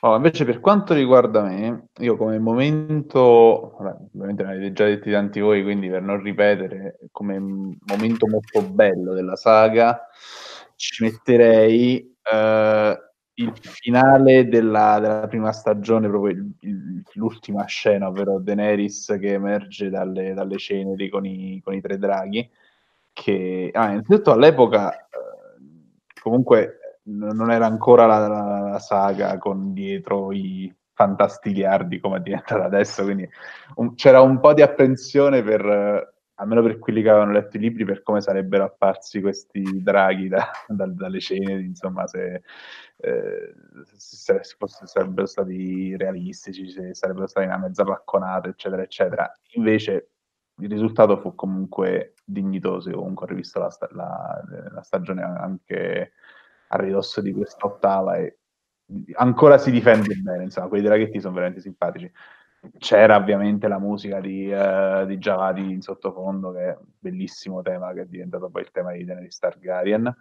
Eh, e è anche un po' una scena che richiama il ritorno della, della magia e di certi eh, temi tipici del fantasy che però nel Trono di Spade sono sempre stati un po' come dire, tra virgolette marginali, nel senso che è sempre stato pubblicizzato come il, il fan, più che pubblicizzato, diciamo, eh, suggerito dai fan come il fantasy realistico dove non c'erano nani, orchi, maghi, draghi, eccetera, eccetera. Invece quel momento segna un po' il ritorno della magia nel mondo di, di Westeros e quindi anche questo valore simbolico e ovviamente anche la nascita di una di quella che poi si vede una, una, tiranna, però comunque una conquistatrice che ha avuto il suo peso nell'economia del, eh, dello show.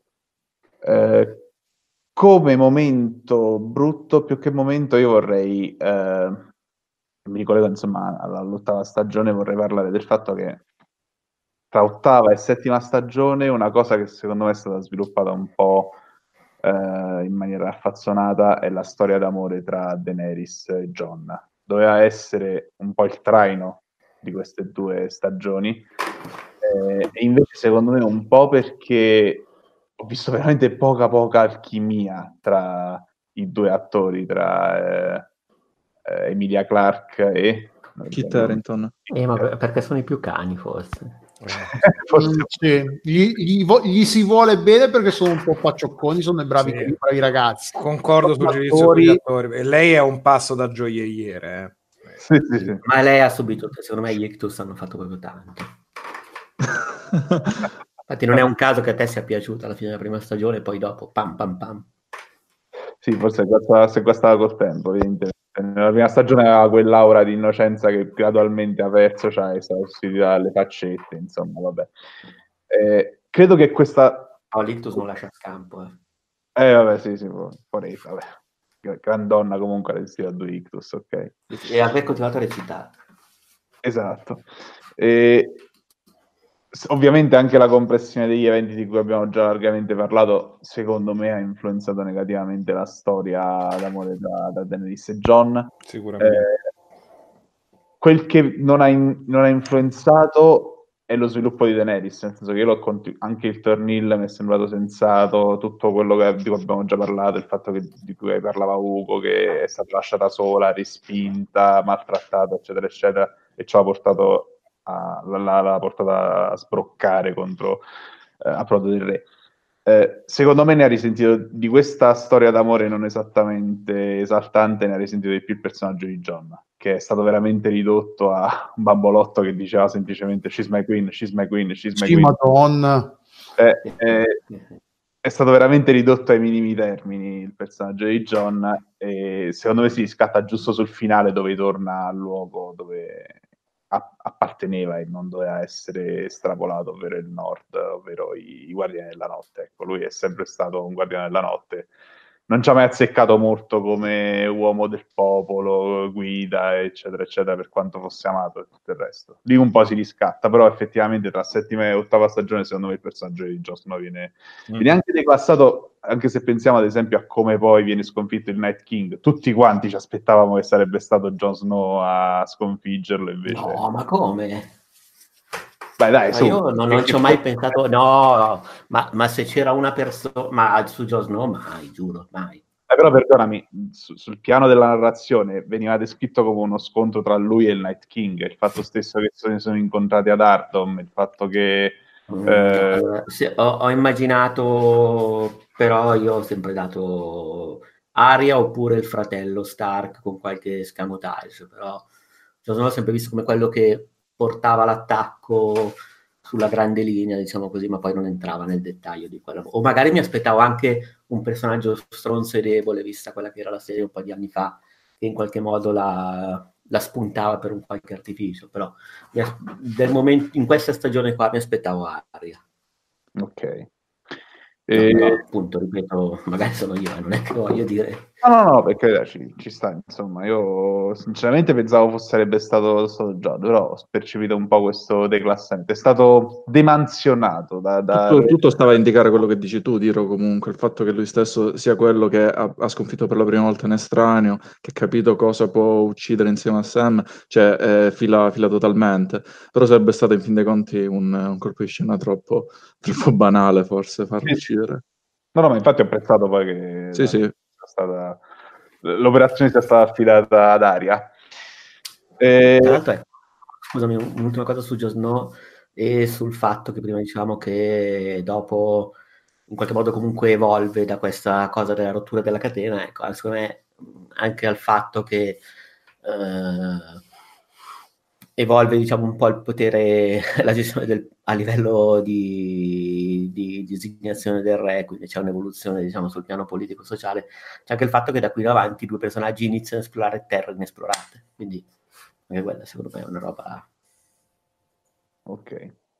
Cioè, lo, visto che comunque il trono di spade è stato anche e soprattutto un, uno show di, di, personaggi, abbiamo pensato di fare una sorta di, di, di descrizione dell'evoluzione del, del, proprio personaggio preferito. Quindi abbiamo scelti, abbiamo selezionato i personaggi che ci sono parsi più interessanti. Quindi, eh, Pedro, inizia a parlarci tu di, Jamie e Cersei, perché hai scelto loro come personaggi? Come... Buh, i cattivi, buh. no, più che altro, eh, più che dei personaggi singoli, mi, mi piacerebbe eh, approfondire un attimo un, eh, una coppia, ecco, perché dall'inizio fino alla fine, ed è questa la chiusura d'anello che ho trovato molto azzeccata, infatti in questo forse eh, sono in una minoranza, cioè fra quelli a cui è piaciuta la morte di, di Cersei, eh, ho trovato azzeccata la, la, chiusura ad anello che non solo va a coprire l'inizio della serie che, in cui vediamo eh, Cersei che fa l'amore sulla torre, dopo buttano giù dalla torre eh, il povero Bran eh, e dopo muoiono insieme, però anche a livello eh, generale, cioè Cersei che muore e nasce insieme a Jamie. Eh, questo l'ho trovato molto azzeccato eh, e poi io sinceramente ho trovato anche coerente la, la narrazione di, di, Jamie, forse anche in questo sono, mi, mi, trovo in una minoranza, eh, ovvero una persona che è talmente legata in modo così morboso a una, uh, a, a, a, una, una, una, questione che oggi con, consideriamo come, anzi forse anche a, fra Westeros, si considera come una perversione, cioè l'incesto forse l'incesto più impuro insieme a quello di, di fare l'amore col, di giacere con la propria madre, che è quello di giacere con la propria sorella, tra l'altro sorella gemella. Eh, eh, posto tutto questo, il rapporto che dopo c'è nell'allontanamento eh, per quella diciamo Liaison Combriani, io l'ho trovato sinceramente tutto, tutto, tutto azzeccato, tutto l'arco narrativo sia di Jamie che di, di Cersei, poi Cersei eh, poi eh, magari è una cosa personale, però io mi sono veramente affezionato al, a tutto l'arco narrativo del, dell'Alto Passero, in cui lei si redime, più che redimersi, inizia a essere vista dalla prospettiva dello spettatore sotto, sotto un altro punto di vista. Eh, la... Poi anche un altro, un altro, aspetto interessante è come effettivamente Cersei non sia un personaggio totalmente negativo, non tanto per la questione dell'alto passero, quanto anche, e l'ho trovato abbastanza interessante come cosa, come il fatto che venga presa a modello da, da quello che è uno dei personaggi che ne esce meglio da Game of Thrones, che è Sansa. Eh, questo penso che sia abbastanza emblematico, credo, nella figura di, di Cersei. visto che hai parlato di Sansa, io invece ho scelto la piccola rampolla degli Stark, che insomma, forse è veramente l'arco narrativo che più mi ha, mi ha, mi ha sorpreso nel, nel, lungo tutto lo show, nel senso che è partita veramente come personaggio, vabbè, come ragazzina, era una ragazzina che sognava di diventare una principessa e stagione dopo stagione, questo episodio dopo episodio, questo, questo sogno è stato demolito prima da, da Joffrey, poi da Ramsey, ma volendo anche da Dio Corto. Ecco, forse eh, la morte di Tito Corto poteva essere, poteva essere benissimo inserito in uno dei, peggiori, dei, dei momenti più bassi. De, Concordo, Concordo per, proprio amando molto il personaggio, non le sue motivazioni. Uno sì. così intelligente, uh, così manipolatore, così, come può realmente, conoscendo così bene i soggetti interessati e la famiglia dei soggetti interessati, pensare di mettere quelle due sorelle l'una contro l'altra a me ha fatto un po' cascare il vale, tanto che all'inizio non ci credevo. Dico, no, vabbè, sarà stato un... Puoi anche metterla che... Avendo avuto così tante vittorie una dietro l'altra, può anche darsi che si sia sopravvalutato. Quello sì. Beh. Sembrava non poterne sbagliarne una, fino a quel momento sembrava averle azzeccate tutte. Sì, ma è uno che riesce a gestire e manipolare molto bene, ma conosce molto bene quella famiglia là. Sì, sì. La madre, pensare di metterle contro l'una all'altra. Così informato e così sul pezzo, veramente molto ingenuo. Sicuramente hai rischi, hai reward come gioco, ma... Ecco, io ho trovato proprio meccanico il, il fatto di voler potenziare il personaggio di Sansa attraverso la morte di, di Vito Corto, che vabbè, però insomma ci sta. E, e, ci sta poi che lei diventi comunque la, la, la, la regina del nord. Eh, arrivi addirittura in un concilio di, tra gli uomini più potenti di Westeros a pretendere l'indipendenza del nord, che oggi parlando con de- dei amici che hanno visto lo show mh, si chiedevano come mai nessuno degli altri lord abbia alzato il sopracciglio quando lei avanza questa pretesa. Eh, Perché ha salvato il culo a tutti. Non solo ha salvato il culo a tutti, secondo me è anche il fatto che il nord ne ha viste abbastanza, cioè il nord ogni volta che lo Stark scendeva all'approdo del re non tornava, eh, è stato dilaniato da, attraverso l'inganno dai suoi alleati, da, eh, da Walder Frey, dai, dai, suoi nemici, dai Lannister. Bolton, gli Ironborn. Sì, sì, sì, ha preso in quel modo da più parti e ha fatto da muro a tutti e soprattutto lei, al contrario del fratellastro, non si è mai realmente inginocchiata. Cioè... Esatto. Infatti, anche come riesce a tenere testa con i Stargaryen, e, e lì secondo me si vede anche la differenza tra un'attrice come Sophie Turner, che per quanto giovane ha comunque delle doti attoriali notevoli, proprio, e, e Emilia Clarke che invece faceva le, le, mosse, le, le fascette durante quella... Le fascette buffe e ritira la mano. Eh. Sì, sì, bella amicizia, che bella. Anche te ami, ami ah, che bello che è mio fratello. Sì, ma il nord? No, vabbè, no, no, che parli, poi parliamo. Il nord? esatto. E... E niente, quindi insomma Sansa per me è stata veramente delle, uno degli MVP di tutto, di tutto lo show e e Sophie Turner aveva tratto insegnamento da questo show, è forse l'attrice che è più lanciata tra quelli del, del dell'intero lotto, insomma. È... è... cresciuta molto bene, direi, cioè, riguardando le foto della prima stagione. Assolutamente. Assolutamente. Eh, Ugo, tu invece hai scelto un botto di... Allora, io ho scelto sì, io faccio molta fatica come con le scene. Io non riesco mai a fare classifiche, robe precise perché ho tante cose che mi piacciono. Tipo, non ho citato prima la regina di spine, Lolenna, che per me, uno come attrice e due come momenti sto cazzo e furbizia femminile, tant'è che Sansa, una delle fonti, Sansa è molto brava a imparare dalle persone che ha intorno, che sia Cersei, che sia Dito Corto o che sia Olenna, Valput e Olenna era meravigliosa perché insieme a Tyrion, uh, Varys uh, e Dito Corto, uh, quelli che hanno la visione più lucida del presente e lei soprattutto non le mandava a dire ed era tutte le scene con lei secondo me erano bellissime. La regina di spine fantastica. Pure nel momento della morte oh comunque mi raccomando voglio a dire che gliel'ho ammazzato io il bambino. Fantastica. Mamma mia fantastica. Lei era lei mi, mi piaceva da morire tutte le volte che appariva mi si illuminavano gli occhi. E come arco narrativo generale fino all'ottava stagione Aria perché dimostra all'istante uno in cui appare che sa sparare con l'arco meglio dei fratellini maschi predestinati, eh?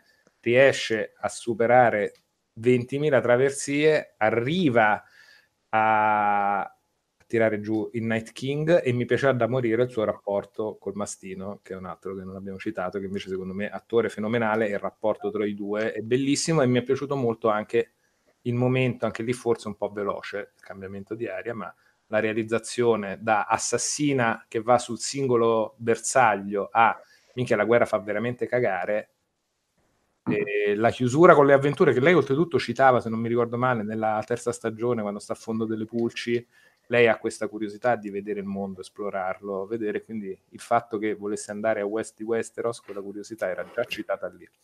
Mm.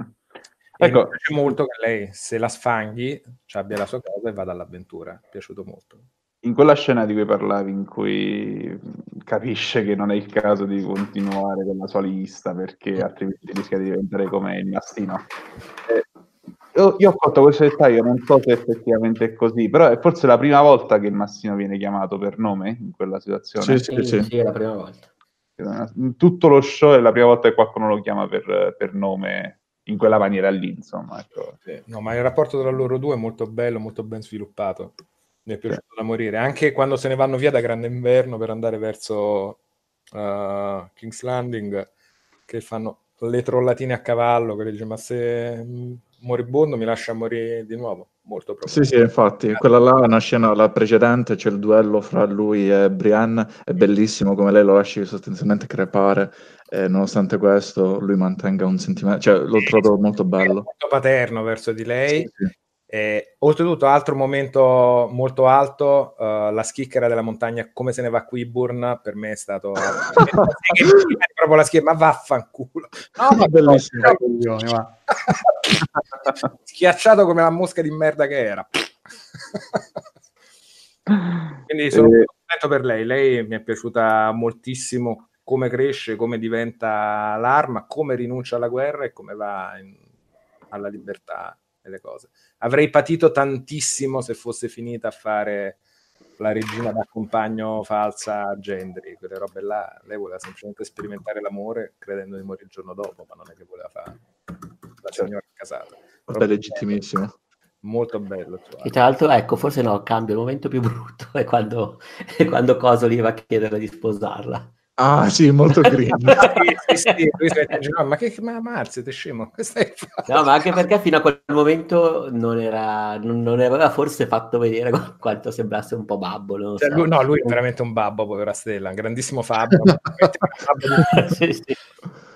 E poi nel mio cuore, e questo punti bonus, semplicemente perché anche lì attore fenomenale, personaggio che mi stava simpatico da morire, Bron, che purtroppo nell'ottava stagione ha molti momenti what the fuck, perché quando appare in taverna, i fratelli, poi se ne va, poi rispunta alla fine del Gran Consiglio, non me ne frega un cazzo, lui mi sta troppo simpatico, le battute sue, gli scambi con i due Lannister mi hanno sempre fatto scassare durante tutte queste le stagioni in cui è stato presente e oltretutto grandissimi momenti MVP quando tira giù il drago, salva Jamie dalla fiammata, fa delle robe Bron che veramente tira il dado e fa 20 di fisso. Quindi, sì, sì, sì. Ah, scusate, altro momento di perda, uh, Jon Snow che va dal drago e gli urla addosso. Ah, sì. Senza senso, senza senso. Nell'ottica del... sta urlando Gogo alla sorella. No, però quella è una cosa che si sono inventati i fan per, per Ah, ok, perché io non l'ho riguardata la scena, quindi poi io l'ho, l'ho presa per buona l'interpretazione. No, io, no. Quel fronte sono salvo perché Jon Snow, sia letterario che cinematografico, cioè lui è un po' cagnetto l'attore, ma ha sempre trovato un pesce a brodo incredibile, veramente. Un cane minchia proprio sempre, ma oltretutto con c'è poi grande coraggio istintivo, ma veramente cane minchia, cioè anche nella battaglia dei bastardi, che fai? Corri, spada estratta, contro la cavalleria, ma è un bucio di culo che ti salvi. cioè, grazie a Dio. Sempre, sempre, sempre, sempre delle scelte, capisco l'onore, le cose, ma lui comunque veramente Tornando a Brond, mi è piaciuto comunque molto la, la, conclusione che gli hanno data come mastro del, del, conio, che è tipo la radicalizzazione di quello che dice Beppe Grillo su mettiamo al, come ministro dell'economia una madre di famiglia che sa gestire le cose, ecco noi invece mettiamo un mercenario senza, eh, senza ritegno che farà finalmente fruttare le casse di Westeros. Fantastico, fantastico e soprattutto primo ordine del giorno, le mignotte, ragazzi.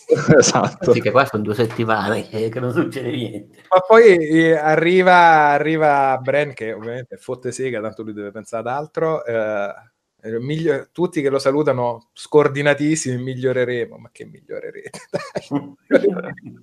Siamo seri, guardiamoci nelle palle degli occhi, su. Bellissimo. La banda di cialtroni. Ecco, Delu, parlaci di questa coppia insolita, Davos e il Mastino. Ma, eh, visto che anche Ugo ha fatto la cosa del uno morto e uno vivo, anch'io alla fine ho deciso di sceglierne anche uno morto e uno vivo. Uh, cominciamo da quello morto, per, uh, ne avete già parlato. Uh, l'arco narrativo di, del mastino di Clegane è stato uno dei più interessanti, un po' perché l'hanno gestito sempre con coerenza, non l'hanno ma- la, la sua, per quanto non, avesse ma, ma, non abbia mai avuto uno spazio enorme nella serie, eh, la sua crescita è sempre stata crescita non so neanche se cresce, comunque il suo cambiamento è sempre stato Fisso, eh. costante eh. e coerente, non è mai stato da un momento all'altro, ah, prima è un bastardo e poi diventa subito buono da un momento all'altro. No, mi, l'ho, l'ho, sempre visto, scusami, come uno svelamento di un personaggio che era già così. Sì, esatto, piano piano, un po' le, le sue uccellino, la tratta Esatto, b- uh, Little Bird la chiamo in inglese, sì, sì. Le, le, sue inter- le, sue interazioni con Sansa, le sue interazioni con, con Tyrion quando ha a che fare con... Uh, con Joffrey, tutte queste cose qua. Piano piano lo, lo, lo, lo svelano, non è soltanto l'uomo sfigurato dal, dal fuoco che odia tutti e ucciderebbe tutti per, solo perché l'hanno guardato, neanche guardato male, solo perché l'hanno guardato.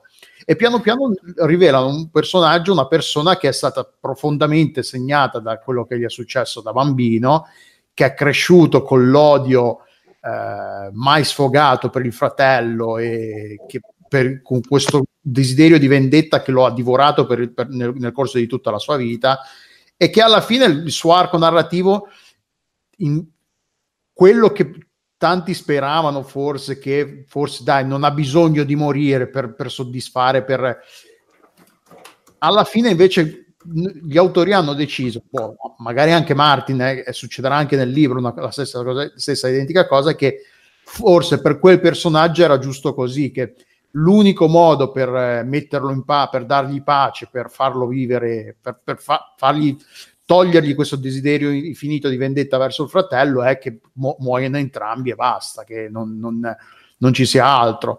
E cioè, sì, è un bel personaggio, mi è piaciuto, mi è piaciuto l'attore bravissimo, non, eh, eh, per come l'hanno scritto, per come l'hanno fatto evolvere e per come ce l'hanno rivelato, come la, ce l'hanno svelato piano piano. Quello è stato uno dei personaggi che hanno gestito meglio eh, secondo me, proprio per come non lo hanno sprecato lo ha, e ogni volta quel poco tempo a schermo che aveva lo hanno sempre sfruttato bene in tutti i sensi.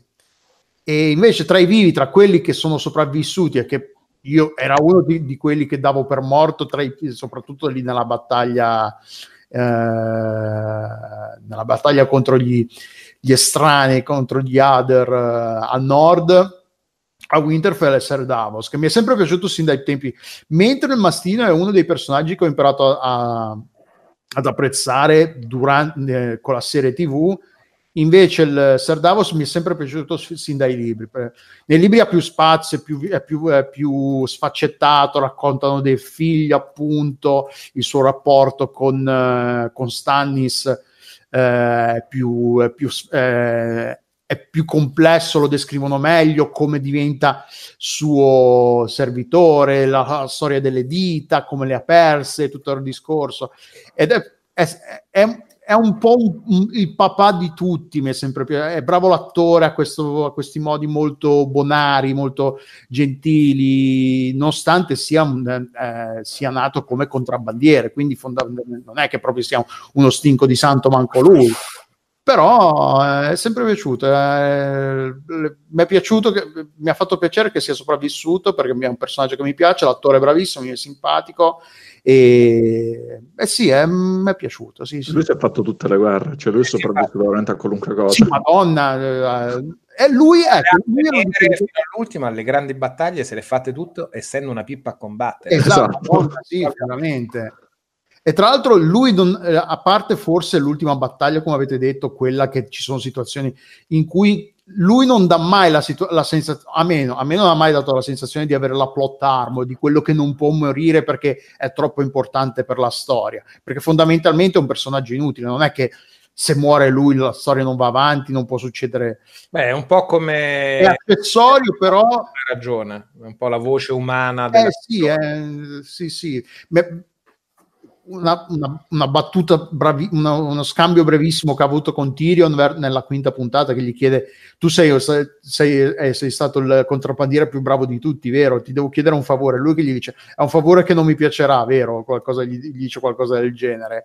Eh, ed è proprio quel, quel, quel, non dice no, non lo voglio fare, però gli dice, cioè sì, non è una cosa che mi piacerà fare, che è un po' anche quello quando che se vogliamo rimanda a quando ha portato Melisandre nella, nella caverna sotto King's Landing su ordine di Stannis agli albori, cos'era la prima, seconda serie, siamo, si, si parla di, di, cose piuttosto all'inizio, per, per uccidere il fratello, che, che, non mi ricordo manco come si chiamava, per far uccidere il fratello.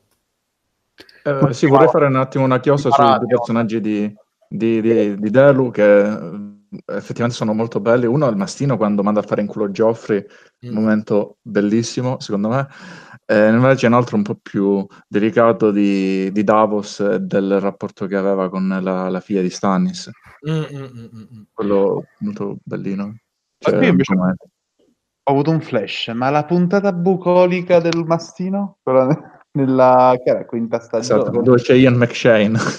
sì, che aspettavano che Ian McShane sarebbe, avrebbe interpretato tipo Euron, no? Perché insomma c'aveva un po' quella, quella prova là. E invece rifilarono questa puntata in cui lui era ti- Massimo si era tipo unito a una setta. Me la ricordate, no? Sì, sì, sì me la ricordo, me la ricordo. praticamente. Come, eh, avete parlato tutti contemporaneamente? non ho capito. No, dico inizia come Settimo Cielo e finisce come Berserk quell'episodio. esatto, esattamente. Cioè eh... che tipo eh, la religiosità e dopo finisce t- tutti sbragati. Merda, sì. Mastino ricordiamolo come il personaggio che ha detto più volte Kant in tutta la... Vero. in tutta la storia della televisione. quello che parla più diretto è proprio meno fronzoli ancora più di Olen, proprio diretto diretto così, apostrofava dal cuore. Altro oh. bellissimo momento quando manda a fare in culo Tormund l'ultimo episodio dopo che viene rimbalzato a sua volta da, da Brienne. Sì, sì, sì. eh, ma Tormund pure, ma di personaggi belli ce n'è quanti noi ce n'è. Tormund, grande palla comica, forse un pelo anche sopra le righe, ma molto amato. Ma no, è, sì, la cosa bellissima di Tormund è quando viene rifiutato da Brienne, non pianta un casino, dice no, okay ma è un uomo vero Tormund. Oltretutto, proprio non ha problemi a esprimere i suoi sentimenti e i suoi desideri. La storia, oltretutto, è il momento cringe della storia che cerca di fare il film e dice: sono andato, ho ucciso il marito della gigantessa, poi sono stato tre mesi a popparle le sise perché così mi ha scappato il figlio che è troppo un figo e sono grande perché sono cresciuto al latte di gigante e tutti che si guardano what the fuck? Eh, eh sì sì lui è convinto che sia proprio la sua carta l'astro eh, no? eh, eh, mentre si sbrodola tutto eh, che, mo che, e, mo che, e mo che mi racconti. Eh, poi delicatissimo lui durante la festa che parla di Jon Snow come se fosse l'unico a cavalcare draghi eh, cioè, mentre Daenerys che è rosica duro, vabbè, un grande Tormund. Sì. Allora, direi che possiamo chiudere con Peduz che ci parla di quello che forse è, è, il, è il, uno dei più importanti personaggi, forse il vero protagonista della saga di, di Game of Thrones, almeno della controparte televisiva, ovvero Tyrion. Direwolf. Mm. Dai Tyrion. Sì, Pensavo sì, che sì. Stella, invece. Allora, no, sì, allora, premesso che mi sono piaciuti un sacco di personaggi, quasi tutti quelli che avete detto, eh, l'arco narrativo di Ari è probabilmente quello che ho preferito, mi è piaciuto eh, anche Tywin, tra Uh. quelli diciamo così, che è, è tra l'altro bravissimo l'attore, Madonna, Charles, Charles Dance. Dance, era Charles Dance bravissimo, e anche la chiacchierata che c'è a un certo punto all'inizio tra Tywin e Enna quando diciamo così negoziano è bellissima. Mia, sì, è vero, altro dialogo, Eh, scambio. quella è, è strepitosa perché poi lei poi gli dice raramente incontro un uomo all'altezza della sua fama perché comunque lei riconosce di è bellissimo bellissimo tutto mi è piaciuto anche l'arco narrativo di Varys ad esempio che parte come eh, non so il personaggio meschino che viene presentato in un certo modo poi in realtà sotto certi aspetti era l'unico che effettivamente essendo eh, virato quindi diciamo così non avendo una discendenza era quello che in qualche modo eh, non aveva una spinta egoistica o comunque su se stesso, la sua stirpe, e in qualche modo eh, era quello, non so come dire, era il vero patriota per certi versi. Mm-mm. Quindi secondo me è anche stato bello il modo in cui hanno gestito quel personaggio, mi è piaciuto moltissimo anche eh, Jamie e Cersei, e mi è piaciuto anche il modo in cui si chiude effettivamente, come dicevi tu, eh, con questo ritorno quasi nel grembo, anche come li ritrovano in posizione fetale eh, alla fine. La scena commoventissima, secondo che uno dice Cersei dovrebbe essere la più odiata, è il momento in cui Tyrion li ritrova e io mi sono molto gruppone in gola perché Assolutamente, sì. No, no, sì, sì, perché e poi è stata proprio presentata bene. Però ecco, forse il personaggio di cui non si è ancora parlato e che effettivamente mi è stato simpatico e che è stato scritto per essere simpatico in effetti fin dall'inizio è Tyrion. E poi ha un bell'arco narrativo anche lui, nel senso che parte Chi, scusa? Tyrion.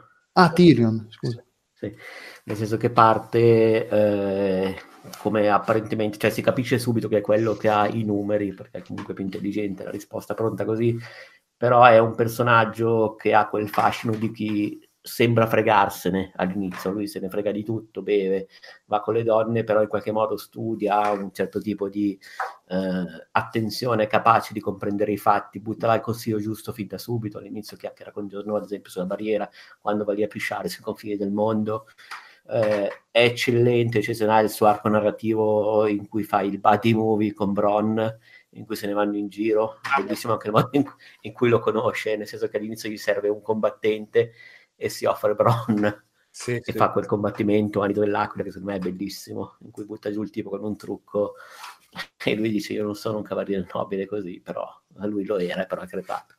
E in generale Tyrion mi è piaciuto anche il modo in cui viene gestito, il modo in cui piano piano si lascia coinvolgere prima dalle questioni politiche, poi di governo assume le sue responsabilità, diventa sempre meno più debosciato, però rimane sempre, eh, come si dice, pungente nelle sue osservazioni. Mi è piaciuto anche alla fine il rapporto che ha con Sansa, il, la conversazione che hanno alla fine loro due, ma anche il modo in cui alla fine Tyrion, che per certi versi mi ha presentato come il personaggio più intelligente, quello infallibile, eh, in qualche modo um, abbassa anche la testa di fronte a Sansa, cioè c'è Aria che gli dice la ragazza, la persona, non so se è lei che lo dice, comunque la ragazza più intelligente che conosco. Anche Tyrion nel finale in qualche modo viene a patti anche con quella che forse era la sua ibris per certi versi a livello intellettuale, cioè alla fine riconosce di essere uno che può sbagliare, è fallibile e in qualche modo bilancia un po' questa, questa sua diciamo così sagacia quasi, quasi assoluta che ha avuto per buona parte della serie e poi è bello il modo in cui alla fine non si parla di lui. Ammette non si parla di lui. Torto. Come? Ammette di aver avuto torto, che è un altro momento di crescita. Io ho patito un po', ti avrei detto, l'avrei messo anch'io, ho patito un po' il fatto che vada sottotono nelle ultime stagioni in continuazione e continui a fare più o meno errori tattici o quello che vuoi, quindi da super furbo a un po' sminchiato, ma ho molto apprezzato alla fine il rapporto con Varys e il suo per una volta ammettere uh, c'avevo torto, c'aveva ragione lui.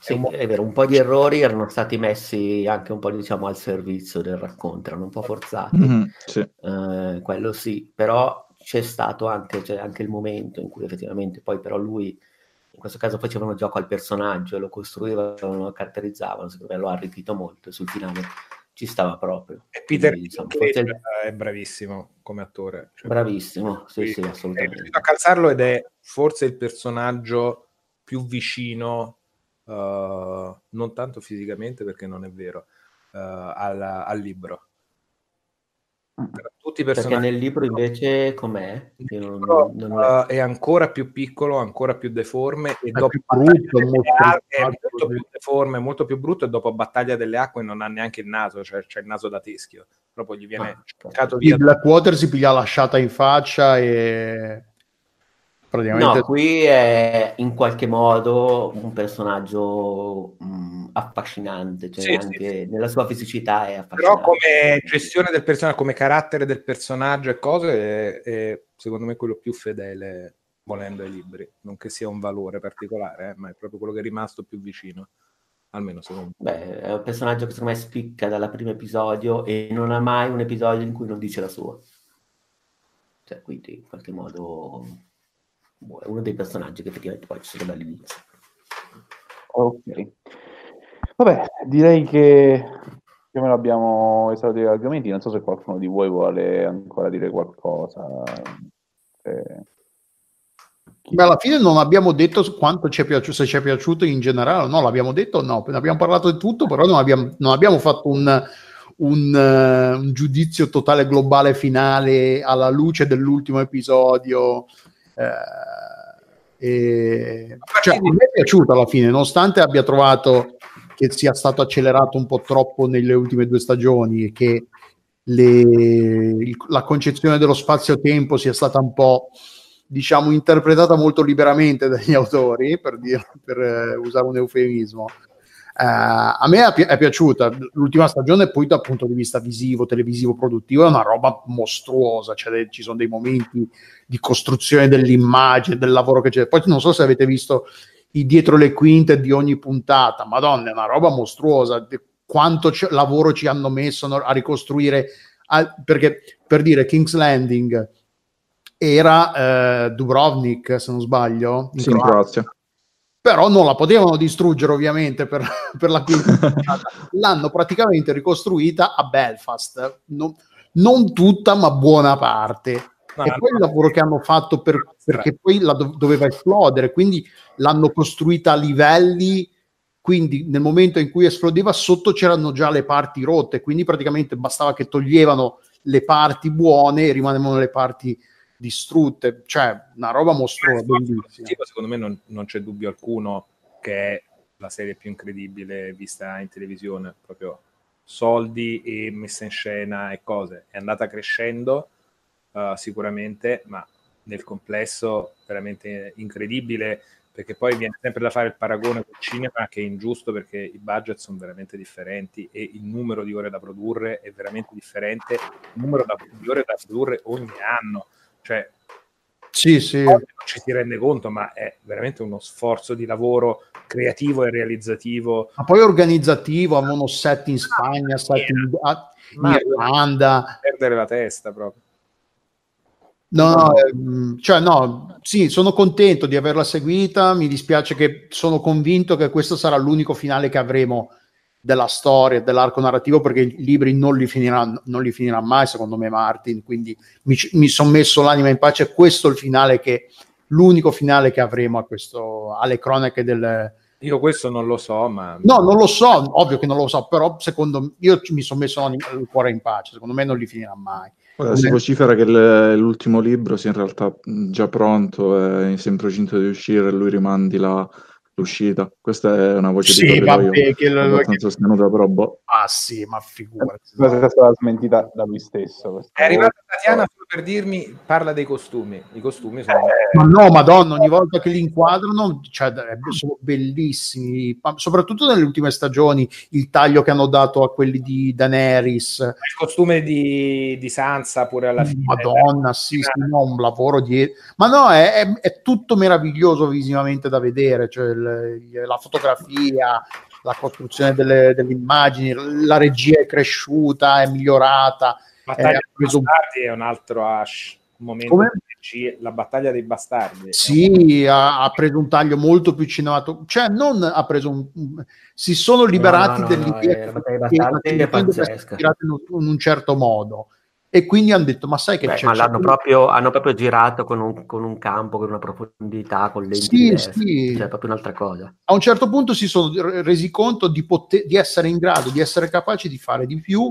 Hanno detto la televisione non deve essere girata in un certo modo. Possiamo fare quello che vogliamo e lo facciamo. E l'hanno fatto e hanno dimostrato che vabbè, ovvio devi avere da dietro una montagna di soldi per fare certe cose ovvio però anche ad avere tanti soldi c'è gente che fa merda loro con tutti i soldi che hanno avuto hanno, hanno realizzato una roba imponente, una produzione imponente. So, sì, con, mi mancherà, però sono contento di averlo visto alla fine, sì, sì.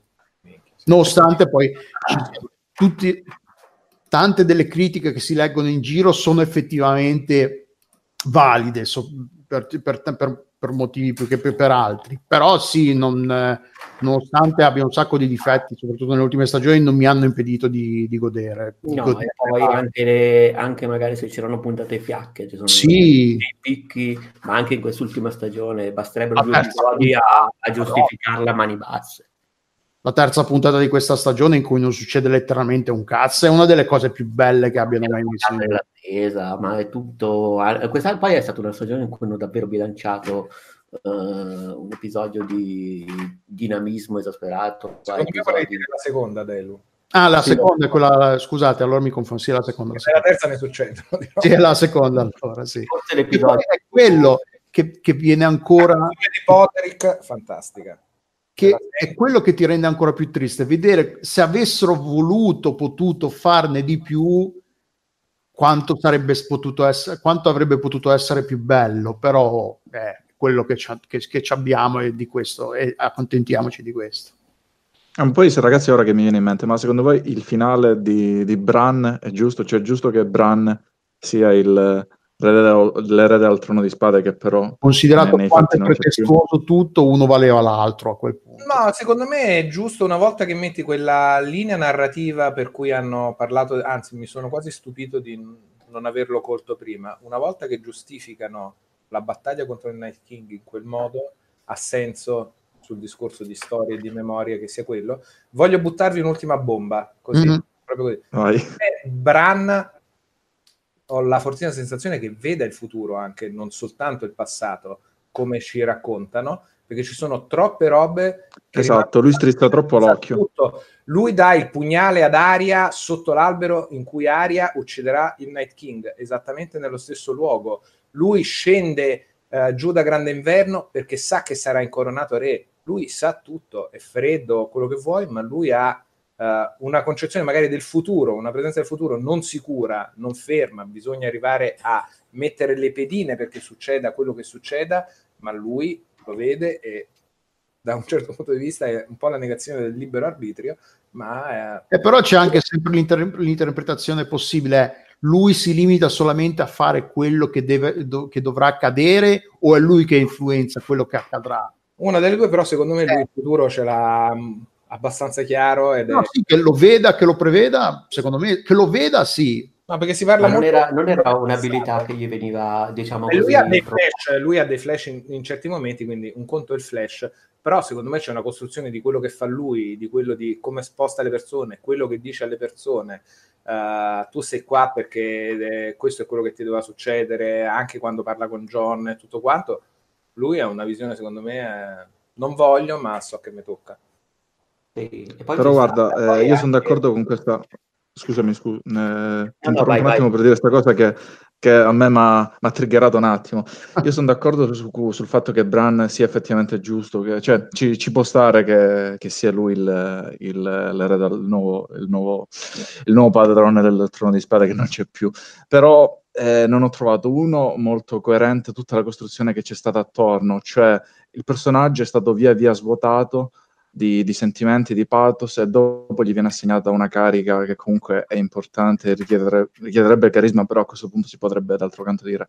Però eh, tutte le stagioni al trono di spade ci hanno insegnato che non è importante chi c'è al trono, ma chi c'è dietro ed effettivamente ce n'è abbastanza di gente dietro. Poi un'altra roba che per, non mi è tornata in questo caso per nulla, è il concilio che porta all'elezione di Bran, dove c'è il New York Times l'ha definito il momento Scooby-Doo di, di, di Tyrion, che dice forse è lui, è tutto torna, può essere lui, è lui quello adatto. Questo non mi è tornato. Sì, io sono d'accordo che quella per me è stata la scena più debole di tutta l'ultima puntata come motivazione. Far a me personalmente ha lasciato estremamente perplesso che quello che arriva come prigioniero in manette decida per a, tutti. A raccontare agli altri sì. qual è la strada da fare quando, oh, ma qua sei un nostro pari o ti stiamo processando?